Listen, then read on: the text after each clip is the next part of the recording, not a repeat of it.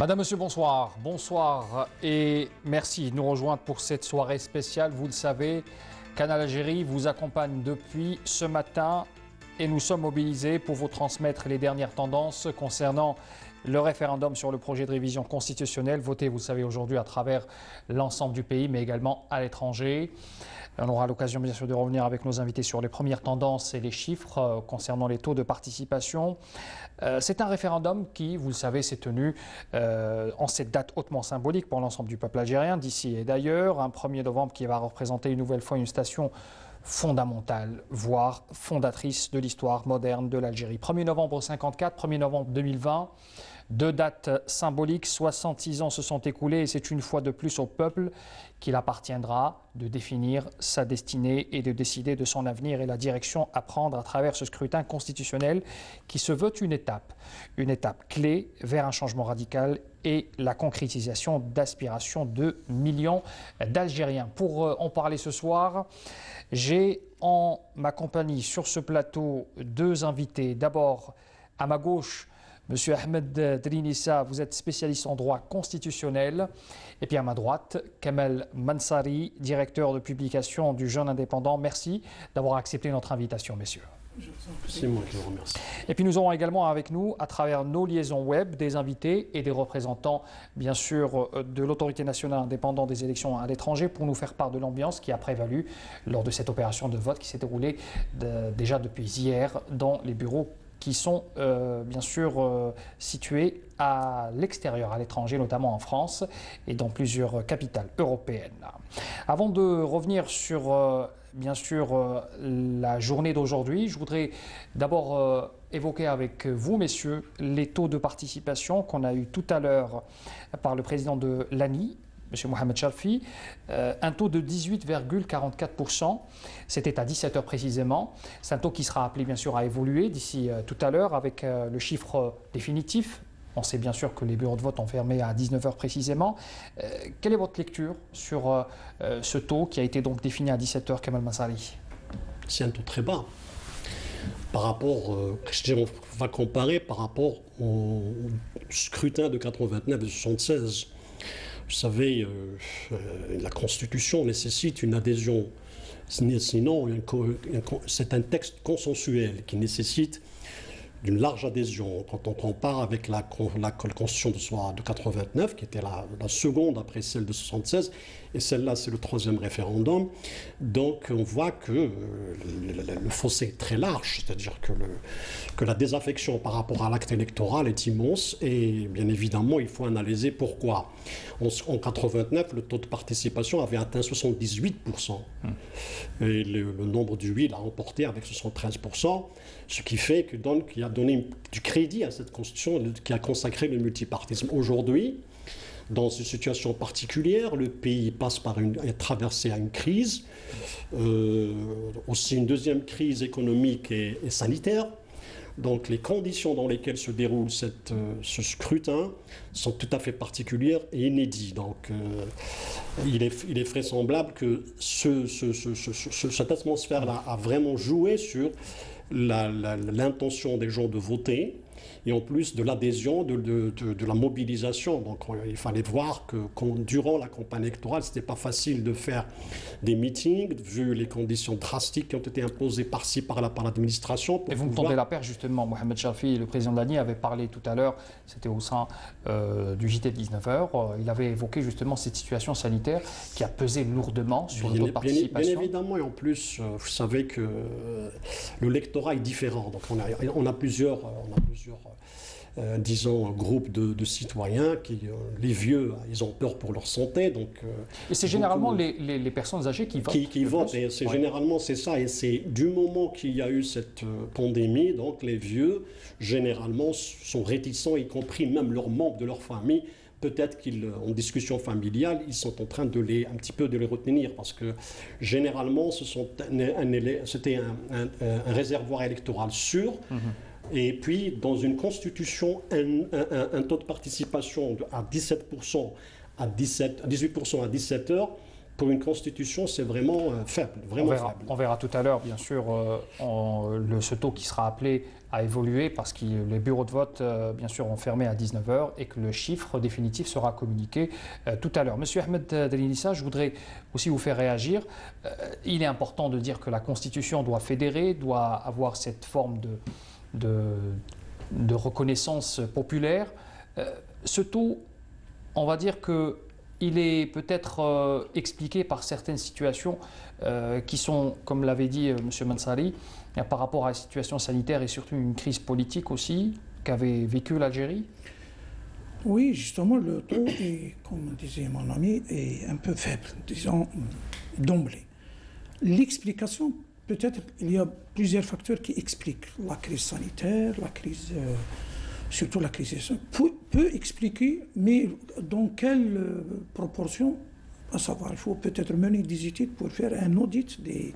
Faut faire des études sur le comportement électoral qui contraste en fait cette euh, contraste avec l'enjeu d'un référendum constitutionnel. C'est un enjeu de société, c'est pas un enjeu de pouvoir, c'est pas un enjeu personnel, c'est pas un enjeu régional, c'est pas un enjeu, disons même électoral. Peut-être dans des joutes euh, qu'on va peut-être euh, euh, voir dans, le, le, dans un proche avenir. Peut-être le taux il fera peut-être un peu mhm. supérieur. Ce qui, j'arrive pas à, tout à fait à expliquer pourquoi ce taux, peut-être qu'il va être revu à la hausse. On va Il sera certainement revu à la hausse. Oui, bien sûr. mais n'a pas encore été révélé. Bon, oui, bon, c'est un taux, disons, qui reflète quand même une, une, transparence, c'est une hmm. crédibilité de l'opération.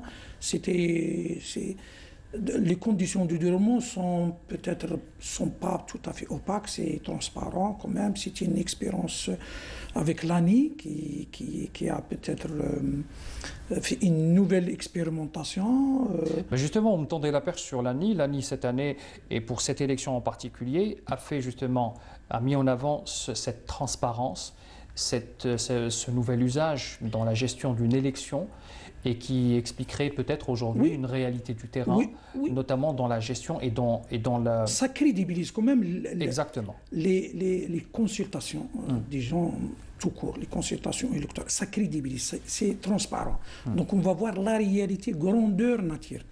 On a vécu sur des chiffres... Euh, euh, staliniens avec 88%, 90%. Parti unique.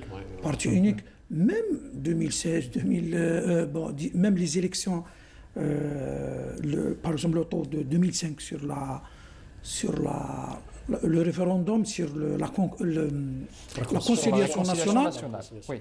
c'était énorme en fait. Oui, mais 2009 c'est encore plus puisque Bouteflika l'a remporté avec 91%. Là on parle d'une on, on, parle d'une autre élection, une élection présidentielle et, et, traditionnellement... C'est-à-dire à la limite sur, le plan, sur ce plan, on a hmm. quand même marqué un acquis, on a crédibilisé, on a quand même, euh, euh, quand même euh, gagné en transparence. Mais justement, on, est en train de, vivre cette transition peut-être un peu choquante. vous parliez de, chiffres qui sont très bas, mais peut-être qu'il faut passer par là pour un peu installer cette Algérie nouvelle qui, qui, essaye de, de trouver un peu ses marques. Tu vois, Zoher, il y, a, un détail qui est, de, taille. Nous sommes face à, un référendum pour un, pour un texte fondateur d'une nation. C'est l'identité du pays. Ce texte-là ne peut pas être, ne peut pas se suffire d'un taux de 30% ni de 40% si on n'a pas une majorité. Je dis bien une majorité au-delà de 50%. Je dis bien en termes de vote d'abord et en termes de oui c'est-à-dire pour arriver à un consensus. Ce n'est pas des joutes municipales, c'est un texte fondateur qui doit, c'est un texte de consensus qui doit rassembler le maximum d'Algériens auxquels ils se reconnaîtront. Si ce chiffre-là, si cette ambition-là n'est pas atteinte, donc il y a quelque chose de, il y a quelque chose, il y a, quelque part une fracture ou une désaffection qu'il faut analyser. Il faut revenir sur les raisons pourquoi on n'a pas eu ce taux, ce taux nécessaire, je dis bien qu'il doit, doit. Dans toutes les, de toutes les constitutions, si on n'a pas plus de 50%, là... Justement, la perche, Je, vais, je, vais, je, termine, je termine. Mais, toujours est-il que, lorsqu'on a 24 millions, 24 millions, dans une situation économique disons, vraiment, vraiment, c'est une crise économique qui est, qui, est, pesante sur, la, sur le citoyen. Quel est, la préférence du citoyen? Est-ce qu'il réfléchit à l'acte électoral plus qu'à subvenir à ses besoins au jour le jour? Est-ce qu'il se reconnaît? Est-ce qu'il pense que cette constitution va répondre à ses besoins immédiats qui sont le travail, le, chômage ou, le bien-être? Ou est-ce que c'est juste euh, euh dans, l'ensemble, elle ne répond pas à ses désirata Et en plus de ça, est-ce que le débat sur la constitution a été un débat entre élites qui n'a pas touché toutes les, franges de la société, ou bien il est resté cloisonné dans des débats stériles qui sont, par exemple, je ne sais pas, la majorité ou, ou la langue nationale. Ça, il faut en plus revenir sur ces causes-là. Qu'est-ce qui, qu'est-ce qui s'est produit? Euh, On est, on est aujourd'hui, on est, au moment où on parle, on a parlé de 18%. Est-ce qu'on va arriver à 40% Est-ce qu'on va arriver à 50% de participation? Et encore, même si on est arrivé à 40%, ce n'est pas 10 millions, on est 24 millions d'électeurs. De, au moins, si on a 12 millions, à ce moment-là, on peut euh, se, faire valoir une, légitimité. Et en plus, on peut donner consistance à ce projet-là. Mais en plus de ça, il faut, il faut rappeler une chose. Elle se déroule en l'absence du chef de l'État. C'est-à-dire qu'on s'attendait à ce qu'après la campagne électorale, que le chef de l'État, le chef de l'État se prononce. C'est-à-dire, à la rigueur, il se prononce, il, ah il fasse un discours, ou il lance un message dans lequel, son absence, je, je ne sais pas, chez, moi je parle sur le plan journalistique, peut-être que son absence a aussi pesé sur. Mais ce, n'est pas le seul facteur, mais peut-être c'est un ensemble de facteurs qui, Ont fait, euh, qui ont fait que le, résultat est là. mais ça ne veut pas dire, ah écoutez, Dans, un, dans, dans, dans, un, dans, un, dans une constitution, le plus important, c'est d'abord les chiffres, d'abord le oui, et ensuite euh, l'application de la Constitution, c'est-à-dire arriver à, à, savoir quel est, quel est l'immédiat. Qu'est-ce qu'on va faire le 4, le 5, le 6 c'est ça, le 5 novembre, je, je, parle comme ça. On peut rester sur les chiffres pour euh, poser la question spécialiste euh, en droit constitutionnel. Euh, pour un référendum qui concerne justement cette loi fondamentale, est-ce que nous sommes obligés d'être face à un taux de participation minimal, c'est-à-dire à 50-51% pour que ce texte fondateur pourrait avoir cette légitimité, cette légitimité dont parlait M. Sur Sur le plan légal, sur le plan de procédure, le, la, procédure est, est régulière. Le, euh, Même avec des taux faibles Oui. C'est-à-dire, sur le plan de la validité, il, est, il est valide. il est valide, bien sûr. Il est valide. Mais ce qui nous intéresse, en fait, c'est l'enjeu politique. C'est un enjeu de société, en fait. Ce n'est pas un enjeu ni euh, partisan, ni un enjeu. C'est-à-dire, quand même, pour les constitutions qui doivent avoir un consensus large, hum. et c'est c'est un peu, c'est vrai, il fallait une, une, bonne légitimité. Mais sur le plan de la légalité, euh, il est toujours valide. Il est valide. Il va être validé. Bon, c'est le, le, oui. C'est le oui dans le porte, bien sûr. On n'a pas encore les résultats. Oui, oui. Mais on parle là euh, sur le plan politique. C'est surtout ça. C'est pas sur le plan légal, procédurier, même constitutionnel. Il est valide. Votre lecture sociologique, Monsieur Ahmed Elissa, sur euh, les facteurs qui ont peut-être poussé certains Algériens à ne pas voter au-delà de la crise sanitaire, ou peut-être euh, ces facteurs euh, économiques, peut-être les gens n'ont pas été assez impliqués, assez euh, informés peut-être? Peut-être, c'est-à-dire, sincèrement, en tant qu'enseignant, je vois qu'il faut, faire des sondages d'opinion, il faut faire des études poussées, très poussées, d'un mhm. point de vue sociologique, de la psychologie sociale.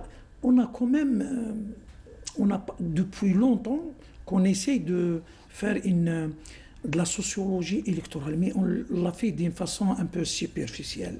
On n'a pas fait des études, des audits sur des, des... On n'a pas de vrais instituts de oui, sondage. oui, on n'a pas. Il faut les on développer. on n'en a pas. Oui. C'était volontiers en fait politique. Je pense que ça, ça devrait être. Et même les centres de recherche, c'est-à-dire il faut les Ce sont des facteurs de transparence, des sondages d'opinion qui seront clairs et qui seront pris en compte. Oui, euh, oui.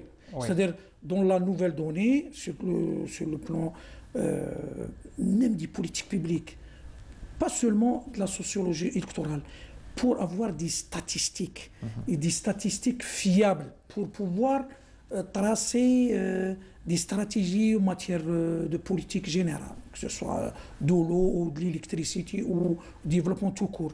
Même sur le plan de la sociologie, disons, électorale, on n'a pas fait. On a essayé, après 2007, les élections législatives, je pense que, si je me rappelle bien, 34%, peut-être M. Massari, peut-être qu'il me corrigera, législative, 34%. On- le taux De de, 2000. participation. Oui. De 2012 2007, je pense Non, 2007. plus, plus 42%. 42%. De- 2000 2007, elle était la plus faible. Et 2012 encore plus. Donc, tu m'as corrigé. Donc, quand même, c'était faible.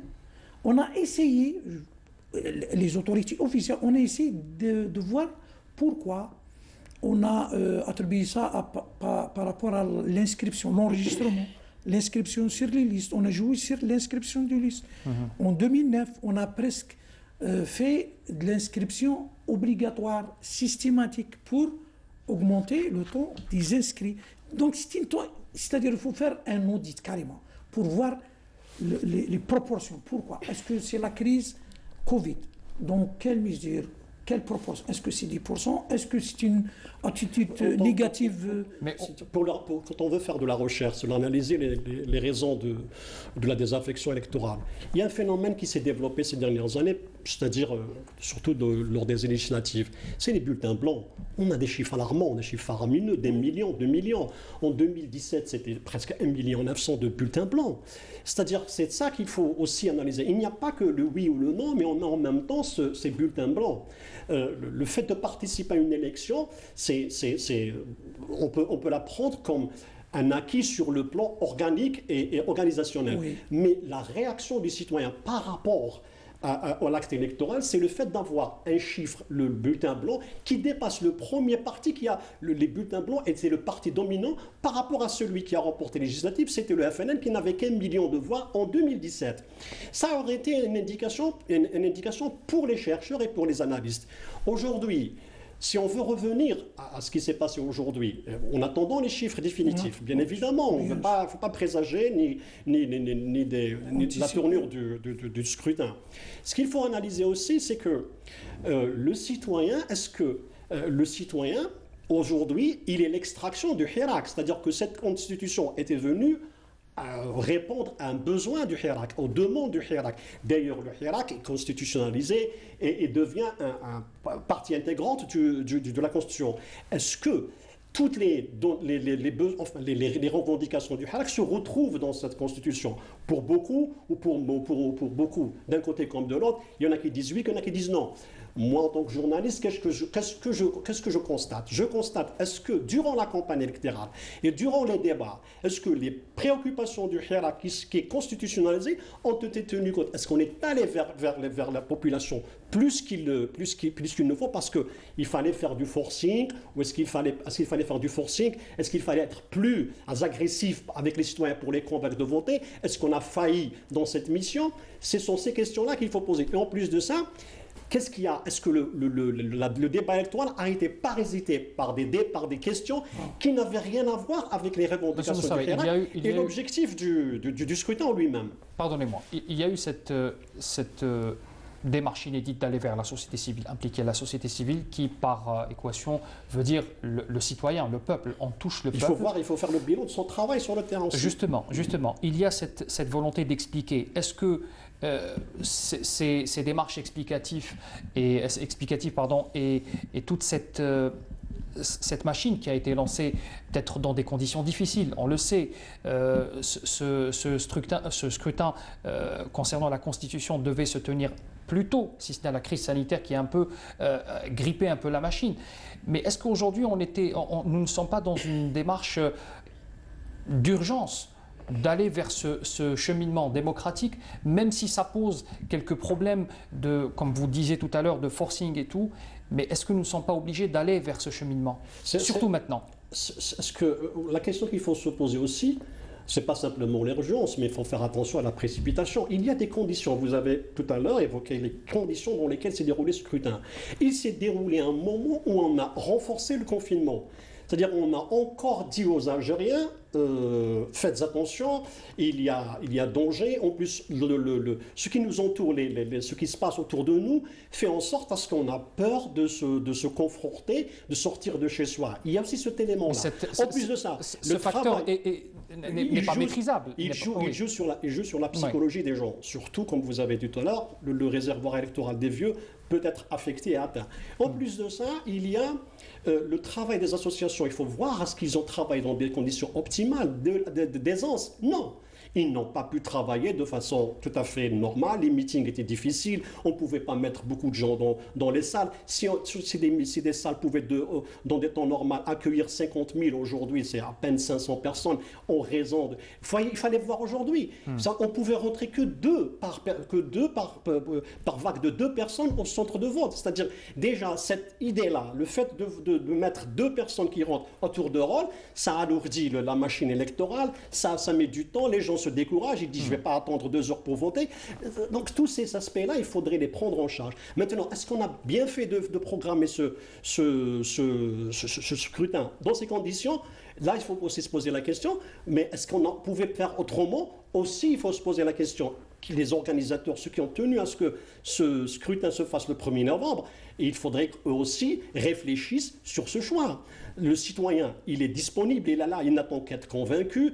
Euh, par la teneur de la Constitution, par les campagnes. Si on n'a pas réussi à le convaincre ou à drainer des foules, il faut aussi se poser des questions. Donc ce n'est pas simplement le fait de dire euh, l'urgence. L'urgence, elle peut être dans des conditions de guerre, des conditions euh, exceptionnelles. Mais là, sommes-nous sommes-nous dans une situation où on peut se permettre de prendre le risque d'organiser un scrutin dans des conditions pareilles? Il fallait le faire, d'accord, mais quand même, il faut faire l'analyse et faire le bilan et assumer. C'est assumé aussi. Donc j'ai dit tout à l'heure que le taux de participation est important parce que ça concerne, c'est un texte fondateur qui régit tout le peuple, qui régit tout un État. Plus il a de l'adhésion, plus on a moins de, on a moins de, de, de, controverses. Mais vous, êtes en train de parler d'un principe, d'un principe euh, dont on est tout à fait, on, est tout à fait d'accord sur ce point. Mais on parle aujourd'hui d'une situation exceptionnelle. On parle d'une crise exceptionnelle, une crise politique aussi. Il ne faut pas oublier quand vous parlez de ce, cette euh, volonté de de peut-être ne pas, de, décaler peut-être une élection dans des conditions comme... Je pose des questions, je ne dis rien de... Aucune certitude. Bien sûr, bien sûr. Mais il y a aussi eu cette crise euh, politique, Monsieur Ahmed euh, Telinissa, euh, qu'il fallait peut-être prendre les choses en main. Peut-être qu'il ne fallait pas laisser les choses aller, aller un peu dans la continuité, d'autant plus qu'on n'a pas de visibilité sur, sur cette fin de crise sanitaire. Et c'est le monde qui, qui en pâtit, pas seulement l'Algérie. Oui, c'est-à-dire les, promoteurs de la, de, la, Constitution, ils ont lancé un défi à la limite, un défi énorme en fait, et qui renferme beaucoup d'enjeux. C'est-à-dire, on est là pour constater que quand même, euh, c'est difficile, c'est exceptionnel en fait. Sincèrement, euh, c'est difficile. Même sur le plan sanitaire, ça a pesé. Euh, l'explication de mon ami explique beaucoup de choses. Peut-être que je n'ai pas la vision d'un d'un type qui a fait presque l'audit euh, de, la, de, la, journée, quand même, mais quand même, ça contraste avec la teneur en fait de la, de la copie. Il est consistant, carrément. C'est une avancée extraordinaire. Peut-être que les promoteurs, les acteurs n'étaient pas agressifs sur le plan de l'explication. J'explique euh, aux politiques qu'il faut être agressif pour convaincre les gens. Pourquoi? Parce que il y a une certaine lassitude, une certaine laisser aller. Il fallait, il fallait être agressif, agressif. il faut aller il fallait aller au café ou. Les cafés sont fermés. Oui, c'est-à-dire, c'est ça. Il faut, il faut, euh, il faut. Il y a d'autres moyens, Monsieur Mansari. Non, je vous, dites, vous dites que c'est vrai qu'avec la crise sanitaire, les cafés sont fermés, les endroits publics sont fermés, mais on peut toucher les citoyens de différentes Bien manières. Bien sûr, les réseaux sociaux peuvent jouer le rôle. Actuellement, c'est tout se passe sur les réseaux sociaux. Mais il y a un parasitage. Autre chose, c'est vrai qu'il y a un parasitage et surtout que les partis qui sont qui ont pris en main. L'Algérien est toujours réticent vis-à-vis du FLN, du RND ou des partis qui, ont, qui, qui appartiennent euh, au, au, précédent il y a eu système. Un rejet. Il y a eu un rejet. Il y a un rejet. Ça, c'est important. Mais, mais c'est pour ça que j'ai parlé du fait est-ce que ceux qui ont été censés prendre en charge la société civile et toutes les organisations, c'est quoi leur bilan? Il faudrait, faudrait réfléchir et, et, analyser leur bilan et le, faire l'audit de leur bilan. Autre chose, euh, est-ce qu'on devait, pour on puisse revenir sur la question, est-ce qu'on devait le retenir aujourd'hui ou hier ou dans trois mois ou dans six mois, dans les conditions actuelles On ne sait pas quand cette pandémie se termine. Et en plus de ça, le mandat du président actuel, il est de cinq ans. Donc, il, y avait cette urgence. il y a déjà une année, il a, une année sans sa nouvelle constitution. C'est-à-dire qu'on est toujours régi par l'ancienne constitution. Donc, la refonte du système la refonte du système doit se faire selon, une nouvelle constitution parce qu'elle va faire la rupture avec la précédente.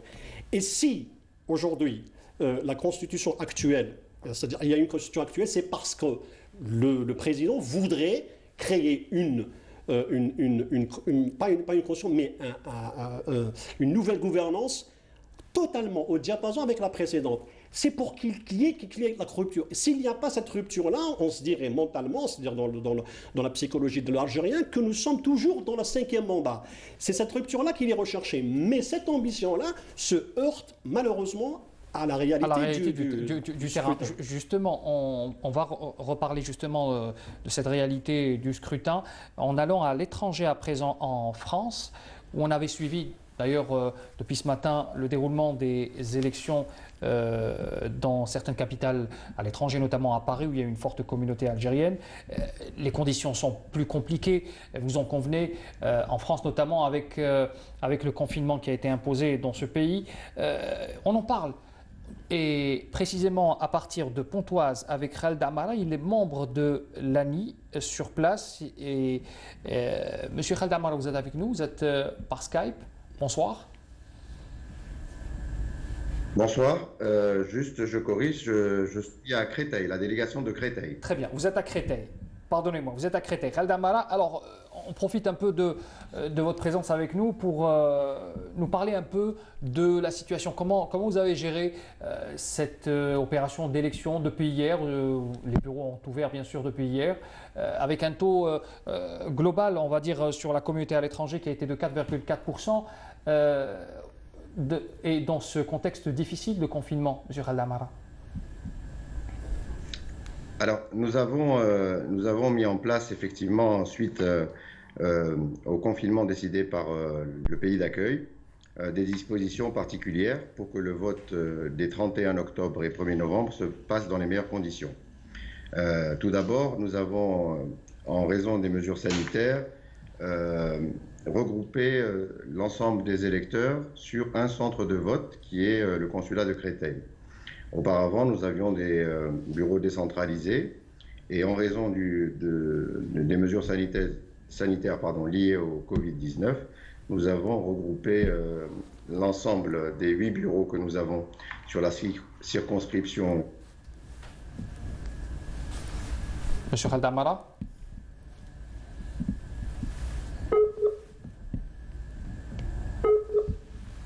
Monsieur Khaldamara, on essaiera de revenir vers vous euh, tout à l'heure. Alors, je voudrais revenir avec vous, Monsieur Ahmed Elinissa, sur euh, cette constitution. On parlait tout à l'heure euh, de cette nouvelle constitution qui est une profonde révision dans tous ses chapitres. elle se veut un élément de rupture avec les pratiques de l'ancien régime? Oui, justement, la constitution, le texte est carrément une rupture. Pourquoi? Euh, parce qu'il apporte, disons, deux, choses. Il apporte une identité constitutionnelle algérienne, c'est-à-dire, voilà une constitution qui consacre beaucoup de choses, beaucoup de revendications des Algériens, et euh, deuxièmement, il s'inscrit dans un mouvement presque mondial de, de standard mondial en termes d'organisation de pouvoir, des droits fondamentaux et libertés publiques, sur l'indépendance de la justice. Donc on a quand même euh, densifié euh, l'état de droit déjà existant. On a densifié l'état. C'est un texte de teneur intellectuelle euh, de qualité. C'est une rupture carrément. C'est un texte exceptionnel et on a presque constitutionnalisé tout ce qui est presque, disons, sur le plan mondial, de, de standards en matière d'organisation, de pouvoir, de droits fondamentaux, sur l'indépendance de la justice, sur la Cour constitutionnelle quand même. On a euh, proposé, on a presque, bon, on a voté, c'était loin déjà, un texte, disons, dense, dense quand même, qui marque une rupture, sincèrement, sur le plan de la pratique politique, sur le plan des droits, sur le plan de l'indépendance justice. C'est-à-dire on a presque dépassé des pays, par exemple, euh, l'exemple français, il, est toujours là, chez nous, on a dépassé la France, la Constitution, sur beaucoup de chapitres, sur l'indépendance de la justice, par exemple. Mhm. C'est presque, on a presque euh, un pouvoir euh, judiciaire indépendant, avec la composante... presque ou indépendant? Qu'est-ce qui... Indépendante, oui, sur le plan organique. Le CSM, Conseil supérieur de la magistère, est constitué majoritairement de magistrats c'est une norme internationale, c'est un standard international. Ce n'est pas le cas en France. On a beaucoup de choses euh, sur, le, par exemple, la Cour constitutionnelle. On a euh, presque donné à la Cour euh, la maîtrise la maîtrise de l'ensemble des législations en amont et en aval. C'est presque, on a un contrôle a priori, en amont si vous voulez, et un posture a posteriori. Presque tous les, processus de production normative, ils sont presque encadrés, constitutionnels, bien dosés. C'est-à-dire on, on est passé à un état de droit substantiel, euh, disons démocratique, social. Et on a inscrit, après les débats, quand même un principe de conciliation. Pourquoi? Parce qu'il y a les gens qui sont pour les libertés, il y a des gens qui sont, disons, conservateur. Hein? Mhm. On a quand même inscrit dans la Constitution l'article 34, les, les, articles 40, on a apporté un principe de conciliation entre les droits, l'ordre public, les constantes nationales, les valeurs nationales. C'est-à-dire, on a déjà réalisé un consensus même sur le plan, disons, idéologique. C'est-à-dire, il y a une tendance, disons, algérienne pour la modernité, il y a une tendance conservatrice, on, est une société quand même. C'est-à-dire, quand même, après, après le débat, on a inscrit ce principe, j'appelle moi le principe de la conciliation entre tout ce qui est euh, liberté, droit, valeur nationale. Pourquoi? Parce que beaucoup de gens euh, ils ont émis des réserves, disons, des craintes. Parfois, ils ont... On y reviendra tout à l'heure avec, euh, avec les réserves et les craintes. Euh, vous avez évoqué un, un point important, c'est-à-dire que ce texte est là pour un peu ramener les Algériens vers des valeurs euh, universelles, des valeurs qui, qui, les rassemblent. on a une pensée, bien sûr, pour les Algériens qui sont établis à l'étranger. Pour en parler, encore une fois, on revient vers Khaled Amara, qui est membre de l'ANI à Créteil. Il est avec nous par Skype. On a été coupé tout à l'heure. Monsieur Khaled Amara, est-ce que vous êtes avec nous? Oui, rebonsoir. Bon, rebonsoir à vous. Alors, vous parliez justement tout à l'heure de l'aspect organisationnel qui a prévalu donc euh, notamment dans votre région, à Créteil. Tout à fait. Donc, euh, effectivement, par rapport euh, à, deux choses. Un, les conditions sanitaires Covid-19 et euh, le, confinement qui a été décidé par euh, le pays d'accueil. Euh, il fallait tout de même permettre à nos ressortissants de pouvoir voter, de pouvoir accomplir leurs devoirs dans les meilleures conditions. L'ANI a bien évidemment mis en place un protocole sanitaire très strict et a, facilité la venue des électeurs. Euh, nous sommes adaptés aux, dernières décisions et nous avons donc euh, permis, euh, du moins facilité aux, ressortissants voulant voter de venir au niveau des structures consulaires, dans le cas présent du centre de vote de Créteil, en leur délivrant après, le, passage au niveau du centre de vote une attestation pour leur permettre de rentrer chez eux à l'entête euh, du, consulat algérien. Euh, les autorités françaises avaient été aussi informées, ce qui a permis aux, personnes, malgré le confinement, de venir exercer leurs leur devoirs. Et est-ce que, est que vous avez remarqué qu'il y a un engouement? Est-ce que les Algériens qui sont établis dans votre circonscription, est-ce que euh, vous, leur avez parlé? Est-ce que malgré toutes ces restrictions, que ce soit au niveau euh, sanitaire, euh, au niveau des bureaux de vote ou même du confinement qui a été imposé en France, est-ce que vous avez senti cet engouement pour, pour ce, projet, ce projet national? Tout à fait. En fait, nous avons pendant près d'un mois avant, avant ce scrutin, rencontrer le, monde, le tissu ou le monde associatif pour justement les sensibiliser et leur expliquer, leur, expliquer pardon, le, programme donc de, révision de la nouvelle constitution. la communauté, bien, évidemment, est, intéressée et partie prenante de tout changement au niveau algérien. Euh, et sont à l'écoute euh, de leur pays. Vous pensez bien en plus euh, que depuis le mois de mars, où l'espace, les frontières, l'espace aérien, maritime et terrestre algérien est enfermé, les, tout, ce, qui concerne l'Algérie pour eux est, vraiment voilà, est vraiment intéressant euh, et, ne peuvent, et ils ne peuvent pas en discuter comme ils le faisaient auparavant, en se rendant en vacances en famille ou chez eux. Euh, donc ils sont vraiment attentifs à tout ce qui se passe euh, en, Algérie, qui est leur pays. Bien entendu. Et on les salue ce soir, notre communauté qui est installée en France ou même ailleurs. Je rappelle, Khaled Amara, membre de l'ANI, vous étiez avec nous à partir de Créteil. Merci à vous pour votre intervention. Euh, je reviens sur ce plateau pour vous parler. Euh, monsieur... Merci, merci à vous.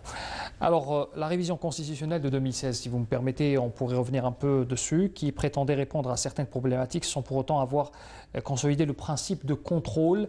C'est un principe important contrôler et barrer la route à cette corruption morale, politique et financière. Aujourd'hui, ce n'est plus le cas quand vous lisez ce texte qui a été proposé cette fois, vous avez cette, ce sentiment que les choses il y a eu cette rupture aussi à ce niveau-là. On parlait souvent de la moralisation de la vie publique, de la sphère politique. Est-ce que c'est important aujourd'hui de le mettre en valeur pour redonner cette confiance? Justement, vous parliez tout à l'heure de l'adhésion du peuple à, ce texte qui parfois peut être euh, flou pour certains. Justement, l'une des revendications du Hirak a été cette question de la responsabilité. C'est-à-dire que les, on n'est plus, on plus euh, dans une logique où on peut faire, on peut agir sans être poursuivi, sans être euh, comptable devant, euh, que ce soit, que au niveau personnel, au niveau d'une institution ou vis-à-vis de la justice. Il y a cette, euh, cette volonté qui est apparue maintenant personne n'est à l'abri de poursuites judiciaires parce qu'il y a eu une revendication populaire qui l'a poussé, qui a, qui a légitimé cette, euh, cette, prise de position et en plus ces, ces mesures. Aujourd'hui, euh, la précédente constitution était euh, d'abord elle était, venue faire des cadeaux, d'abord pour taire une Kabylie, c'est-à-dire leur offrir je leur offrir, euh, je dirais, bon, quand je dis offrir, c'est-à-dire à la rigueur pour gagner une adhésion d'une partie de, la population euh, généralement euh, réticente vis-à-vis de, de, la chose politique et, réticente par rapport à de nombreuses questions, notamment sur la question identitaire. Donc il y avait cet aspect-là, faire de, faire de la mazérité, une, faire de, une journée nationale. C'est une fausse promesse, à votre avis C'est pas une question de promesse, mais c'est une électoraliste et en même temps, en même temps euh, c'est vraiment pour asseoir, pour consolider le, pouvoir qui était en place, c'est-à-dire le régime de Bouteflika. Mais aujourd'hui, mais rien n'a été. Alors que la période 2014-2016 jusqu'à aujourd'hui, la proportion de la corruption, elle a atteint des, des, dimensions faramineuses. Mmh. C'est un moment où l'Algérien était devenu, c'est devenu impossible pour l'Algérien de continuer à tolérer et à accepter de telles, de telles, de telles violations, de tels vols, de telles dilapidations, euh, de l'enregistrement sans, sans, sans, de manière illégale, euh, la dilapidation du denier public, parce que c'est de l'argent du citoyen. C'est cette mentalité-là qui, aujourd'hui, il faudrait aussi... Il ne s'agit pas de, de mettre une, une, disposition dans la Constitution et dire que grâce à cette disposition, nous allons mettre fin à la corruption. La corruption est une pratique, c'est-à-dire qu'il faudrait qu'il y ait des appareils de contrôle, il faudrait qu'il y ait de la transparence, que le citoyen a le droit de contrôler du tous, les, tous les responsables à tous les niveaux, qu'il a ce droit et que la justice doit être de son côté, hum. et que la justice elle-même soit, protégée et elle a les moyens de sa politique et qu'elle n'aille pas qu'elle n'aille pas à contrario de, de, la volonté du citoyen. Lorsque aujourd'hui lorsque vous allez dans une réunion d'une APC le, PV de délibération n'est pas affiché, n'est pas affiché, il n'est pas remis au citoyen qui est un droit. Il a le droit de savoir ce qui se passe dans son APC. C'est-à-dire que du moment qu'il s'agit de deniers publics, de, son, de ses taxes, de son argent, il a le droit de regard, il a le droit de, de, demander des comptes. Mhm. Cette, cette pratique-là n'existe pas. C'est ce qu'on ce qu'on a essayé d'appeler auparavant la démocratie participative, était un leurre. Il n'y a jamais, personne n'a pratiqué la, démocratie participative, c'est-à-dire au niveau bas, au niveau de la société, au niveau des masses. La première, la première euh, action qu'on peut faire pour, dans, la, dans la démocratie participative, c'est d'aller dans son localité, voir ce qui se passe. C'est-à-dire, quand il y a un projet qui se fait, il faudrait que je sache exactement qui l'a fait, comment ça a été fait, qui a vendu l'argent. Euh, toutes ces questions-là, tout euh, ce, droit de, du soin ne l'a jamais eu. Mhm. C'est pour ça qu'il faut d'abord reconstruire le citoyen, lui donner tous ses droits pour que demain, la corruption ne peut pas, ne peut pas, ne peut pas, être, ne peut devenir euh, un acte banal qu'on peut le faire ou, je vole et je vois les personnes, je ne suis comptable devant personne. Mhm.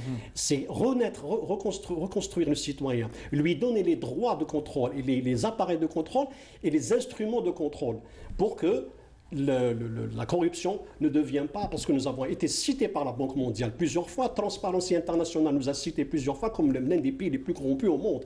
Et c'est un peu gênant. On ne peut pas faire un développement avec, on peut pas, on peut pas faire un développement économique sérieux avec un taux de, corruption euh, hallucinant. Mmh.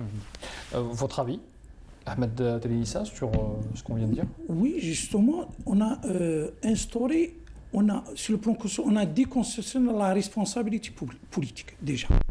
Depuis 2008, on a passé un système irresponsable politiquement. On a euh, instauré l'impunité. On n'a pas donné suite au, rapport de la Cour des comptes, au rapport de l'IGF. Il y a plusieurs rapports. Il y a des administrations, il y a des juges qui ont fait des travaux, des, des textes des condamnations qui n'ont pas été... Euh, et qui ont été parfois rendues publiques. Euh, et, qui n'ont pas, été appliquées. Et qui n'ont pas été appliquées. Beaucoup de dossiers étant presque ficelés. Hmm. C'est-à-dire il y avait une instance politique qui euh, qui ne donne pas suite. Qui était inerte. Inerte. Hmm. C'est-à-dire, c'était voulu, c'était une, une, instrumentalisation. Ils ont désactivé même les instances de contrôle. La Cour des comptes, c'est qui a travaillé quand même. Il travaille d'une façon euh, normale, il fait des dossiers. On voyait les rapports qui, qui, arrivaient chaque, euh, régulièrement, oui, mais, sans qu'il y ait de suite, sans qu'il y ait de... On peut même dire sur beaucoup d'organes de contrôle, euh, dont les ministères de commerce, l'IGF, mais il n'a pas donné. Et pour justement passer à une autre étape, euh, dans la nature, la nouvelle, on a instauré un principe, le principe de la transparence dans la gestion des affaires publiques. Si on l'applique, que ce soit dans la sphère politique, tout ce qui est euh, financement politique, financement des, campagnes, la, transparence hum. économique, il faut instaurer la concurrence. Justement, on a euh, désactivé le Conseil de la concurrence, on a désactivé beaucoup de conseils Il y, avait, une volonté. Bien sûr, il y a une. Oui, c'est-à-dire. Oui, c'est-à-dire, voilà des instances. créer le chaos pour. Euh, oui, justement, on a. Pourquoi? Parce que l'aspect politique et l'aspect économique qui presque qui chevauche, qui est imbriqué, hum.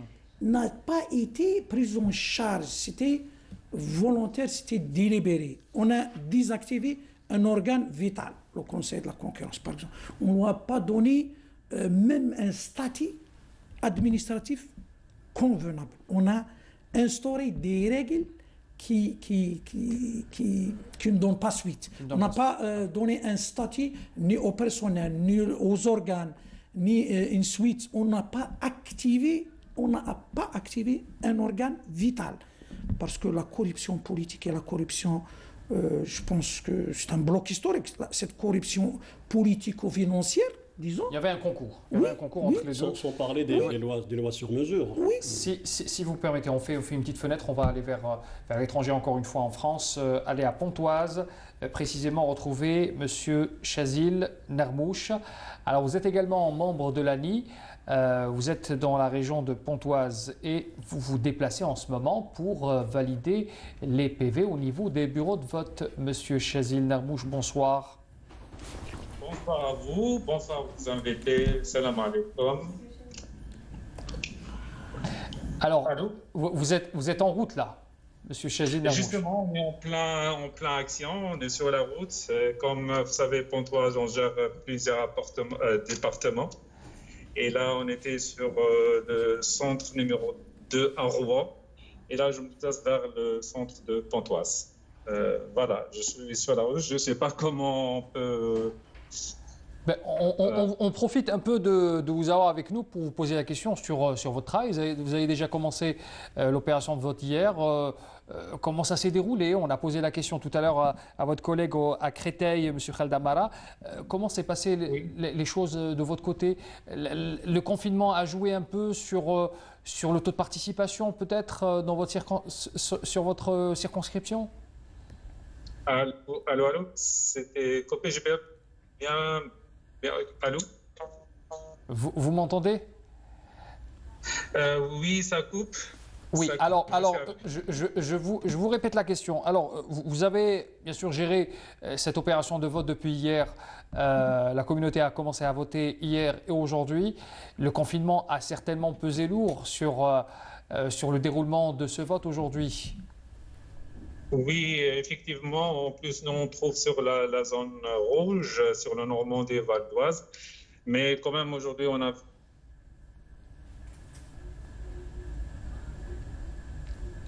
Alors, je pense qu'on a euh, perdu M. Chazé Narmouche. On essaiera de revenir vers vous, M. Narmouche, euh, tout à l'heure. Euh, si vous me permettez, avec mes invités, je voudrais revenir aussi sur, pour cette question concernant toujours la Constitution, pour de nombreux spécialistes, la question, il ne s'agit pas là d'un simple toilettage de la Constitution, on est bien d'accord, on en parlait tout à l'heure. c'est un document qui détermine et qui apporte de véritables changements. Est-ce qu'il fallait peut-être expliquer encore plus le contenu euh, de cette euh, constitution, de ces, de ces euh, articles qui ont été... On, rappelle bien sûr qu'il y a eu des amendements sur tous les articles, pratiquement tous les articles, sur plusieurs niveaux, au niveau de la séparation des pouvoirs, au niveau de la justice.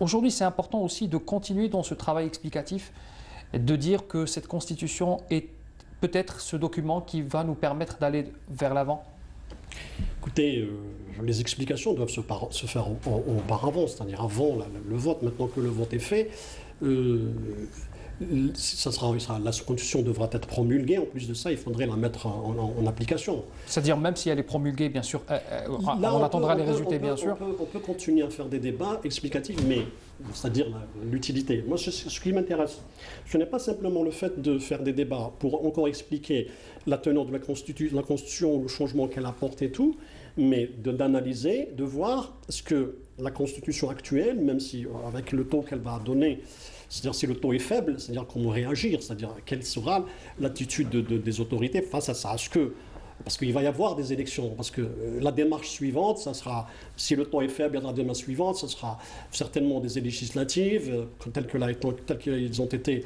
euh, qu'elle a été dit par le président de la République, et puis il y aura d'autres, les lois, les lois organiques, il faudrait les revoir toutes. ça reste, ça ça va, on, on rentrait dans, dans, dans, le côté technique et dans le côté, c'est à ce moment-là où peut-être, là on peut éventuellement faire des, continuer à faire du, du, débat, ou expliquer ou sensibiliser le citoyen sur ces textes. À condition de, maintenant, à condition, c'est-à-dire que si vous avez déjà euh, une désaffection par rapport à la Constitution, par rapport au vote. C'est-à-dire la question qui se pose, est-ce que cette démarche-là va encore aboutir C'est-à-dire, est-ce que ça va, elle va renverser la situation On restera toujours sur... Euh, moi, je, moi je, reste convaincu que la crise politique et économique ont pesé dans, dans, ce qui s'est passé aujourd'hui et, bien sûr euh, sur, sur, le vote en général. C'est-à-dire pas... Aujourd'hui, aujourd'hui le, le citoyen algérien a besoin de concret. Euh, Exactement. il, a, besoin d'une action concrète et que toutes ces mesures, toutes ces lois qui sont promulguées, euh, peut-être que c'est un peu le flou dans sa tête. Je parle du citoyen, du citoyen. de, écoutez, d'abord, d'abord, il y a eu des propositions qui ont été envoyées par toutes les parties, qui sont restées, euh, on les connaît pas, c'est-à-dire n'ont pas été toutes publiées pour pouvoir un petit peu apprécier les, les, les, les, propositions des uns et des autres. On n'a que des chiffres, on dit que tel parti a envoyé 150, d'autres ils disent moi j'ai envoyé 100, mais les lire n'ont pas été publiés. C'est-à-dire il fallait mettre l'Algérien au courant. C'est-à-dire même si le parti lui-même, si ce n'est pas la présidence, la présidence euh, qui le fait à la rigueur, le parti lui-même, il le publie pour qu'on puisse apprécier, voir euh, qu'est-ce qui a été, qui a été proposé, quelles sont les, quelles sont les propositions qui ont été retenues. La dernière, la, la, la, la, la mouture finale, on la connaît, mais qui a fait quoi Qui a proposé quoi On ne le sait pas. Dans quelles conditions? Oui, et dans quelles conditions? Hmm. Aussi, euh, les, textes, les textes fondateurs d'une nation. On a eu des constitutions. On a dit que la celle de 89 était la meilleure, elle a ouvert la voie. Puis on a dit celle de 96 est la meilleure. Chaque, euh, chaque, chaque président vient et, dit, et dit que, sa constitution est la meilleure. Est-ce que nous allons enfin finir avec les, le système euh, de, de, de, violation de la Constitution? C'est-à-dire que chaque pouvoir qui est venu, il s'est doté d'une constitution, mis à part celle de 89, parce qu'elle était obligée d'ouvrir la voie à une multipartisme, mais on a vu où est-ce qu'elle a découlé, sur quoi elle a débouché. Maintenant, aujourd'hui, on, a eu en 2000, on a eu la constitution de 2008, puis celle de 2016, et aujourd'hui, on a une nouvelle constitution. Chez le citoyen qui a l'habitude de voir sa constitution violée, quels sont les mécanismes qu'on ne soit pas violé Monsieur a parlé de, la, justice, du Haut Conseil de la magistrature, qui, qui, constituent des paravents, qui constituent des garde-fous contre ces violations.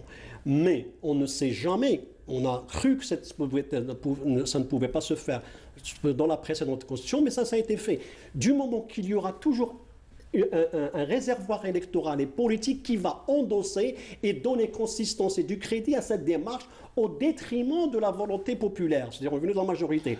Bien évidemment, la seule chose qu'il faut marquer, c'est que cette constitution est passée par référendum, elle ne s'est faite pas dans les salons ou dans, dans un parlement acquis. Ça, c'est important. Il faudrait, il faudrait déjà consacrer le fait que toute constitution, elle se fait par référendum et non pas au sein d'une hémicycle parlementaire acquis on est d'accord, on est d'accord sur, on, est, on est d'accord sur, sur, sur, ce principe euh, qu'il y ait référendum, il faut impliquer le peuple. La, différence peut-être, euh, Monsieur Mansalé, et je reviendrai vers vous, euh, Monsieur Denissa, pour commenter cette, ce détail, c'est que le débat a été enrichi. On a impliqué la société civile. Il y a eu près de 5000, pas seulement la société civile, tout le monde a été impliqué. Le président de la République avait pris la parole pour dire que cette constitution est le projet de tout le monde. C'est un projet national. Euh, on a impliqué les spécialistes, on a impliqué aussi les partis politiques, les euh, responsables d'associations. 5000 propositions ont été formulées. C'est une première. Je ne sais pas, vous, vous, me corrigerez si ça a été déjà fait auparavant. Euh, quatre mois où on parlait d'une mouture. La terminologie était importante aussi je ne sais pas, vous pourrez me, me, me, dire, me dire le contraire, mais aujourd'hui, il y a peut-être une configuration différente. la différence entre aujourd'hui et 96, par exemple, c'est qu'il y a une, une, une, conférence nationale qui a regroupé toutes les tendances politiques qui ont travaillé. Mais on parle toujours du politique, oui. monsieur C'est-à-dire que la Jamais le, la société civile, jamais le peuple n'a été... Non, euh, Écoutez, on n'avait pas de parlement en 96. Il faudrait se rappeler qu'on avait un CNT, il n'y avait pas de parlement d'ailleurs.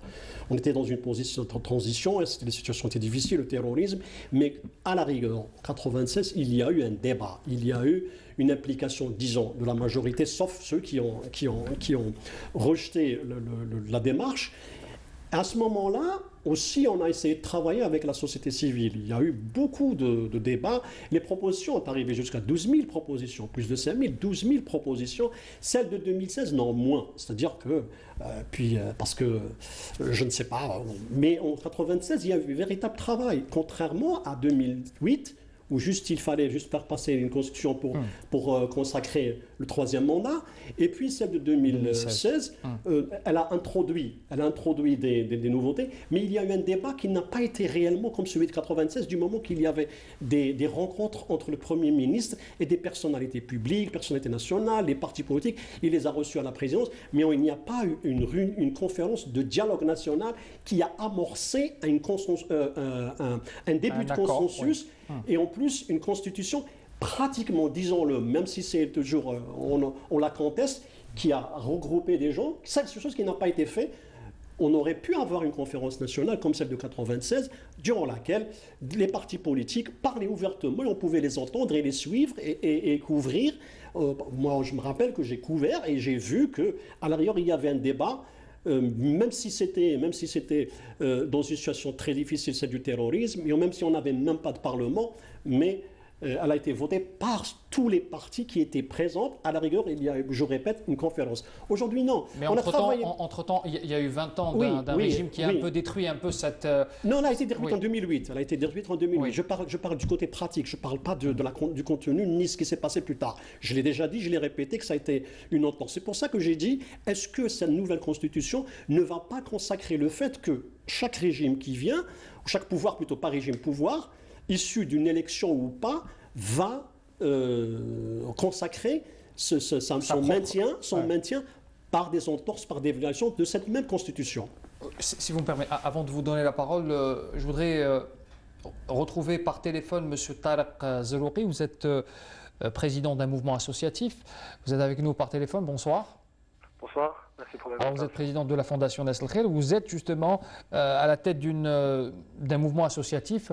Euh, comment vous avez vécu cette période où, vous avez été sollicité pour justement donner votre avis ou peut-être participer un peu à ce débat national concernant cette révision de la loi fondamentale, Monsieur Zalouki donc, euh, ben, nous avons été déjà rassurés. Donc, euh, le fait de faire participer la société civile à donner son avis et faire profiter euh, de, de, son expertise, D'ailleurs, la Fondation Nasser a milité pendant plus de dix ans à ce qu'il y ait une réelle démocratie participative, à ce que la société civile soit réellement écoutée, à ce que la société civile soit introduite dans les sphères de, prise de décision. Est-ce que vous avez eu cette impression, M. Zeloki Est-ce que vous avez eu cette impression que votre, votre discours a été écouté, que, qu'on a tendu l'oreille, qu'on a, qu'on a prêté attention à vos, à vos revendications, à vos aspirations en tant que jeune et en tant que représentant de la société civile? Ce qui est sûr, c'est que la Fondation Nasser a, a, fait une proposition avec 16 points dans différents domaines, dans le domaine juridique, dans le domaine organisationnel, dans le domaine euh, économique aussi. Donc, euh, nous avons vu euh, institutionnaliser la plupart de nos, de nos, de nos propositions, de nos revendications. Par exemple? Certes, ben, la, création d'un levier participatif comme le Haut Conseil de la société civile auprès de la présidence donc c'est un levier consultatif. Euh, aussi passer euh, de l'aspect euh, de la délivrance de l'agrément vers l'aspect déclaratif. Donc c'est ouvrir plus et faciliter la liberté d'action à la société civile. Aussi faire participer la société civile dans les différents mécanismes de l'État comme étant observateur et comme étant est-ce qu'il puisse faire un travail de suivi aussi? Donc nous avons vu euh, énormément de nos propositions, les 16 propositions qui ont été institutionnalisées. Ça nous rassure. Et je rejoins M. Kamel. J'espère que, euh, on espère tous, les, collègues de la société civile, à ce que ça, on passe de, l'aspect du discours à l'aspect opérationnel. Monsieur euh, Tarek euh, je profite de votre présence avec nous pour vous poser aussi cette question. Vous avez parlé tout à l'heure euh, de ce rôle d'observateur que vous pourrez assurer aux côtés des institutions de l'État.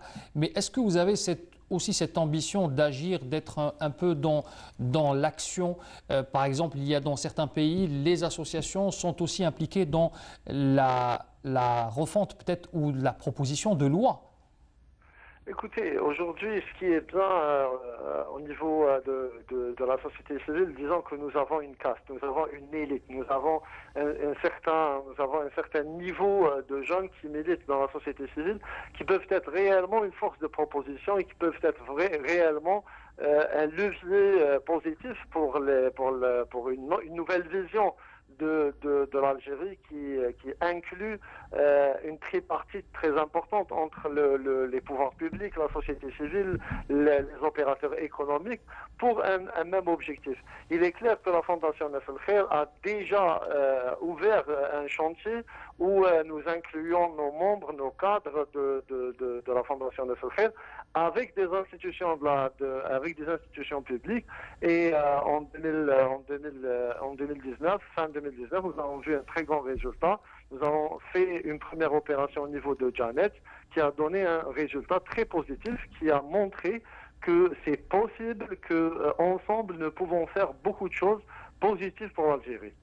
Donc vous, vous êtes dans l'action maintenant, vous, vous espérez être dans, dans, cette, euh, euh, dans cette dynamique qui est en train de s'installer, peut-être euh, pas à pas, puisque vous, vos propositions sont, pris, sont, prises en compte, et vous espérez encore que la démarche sera encore, on va dire, consolidée concernant les associations.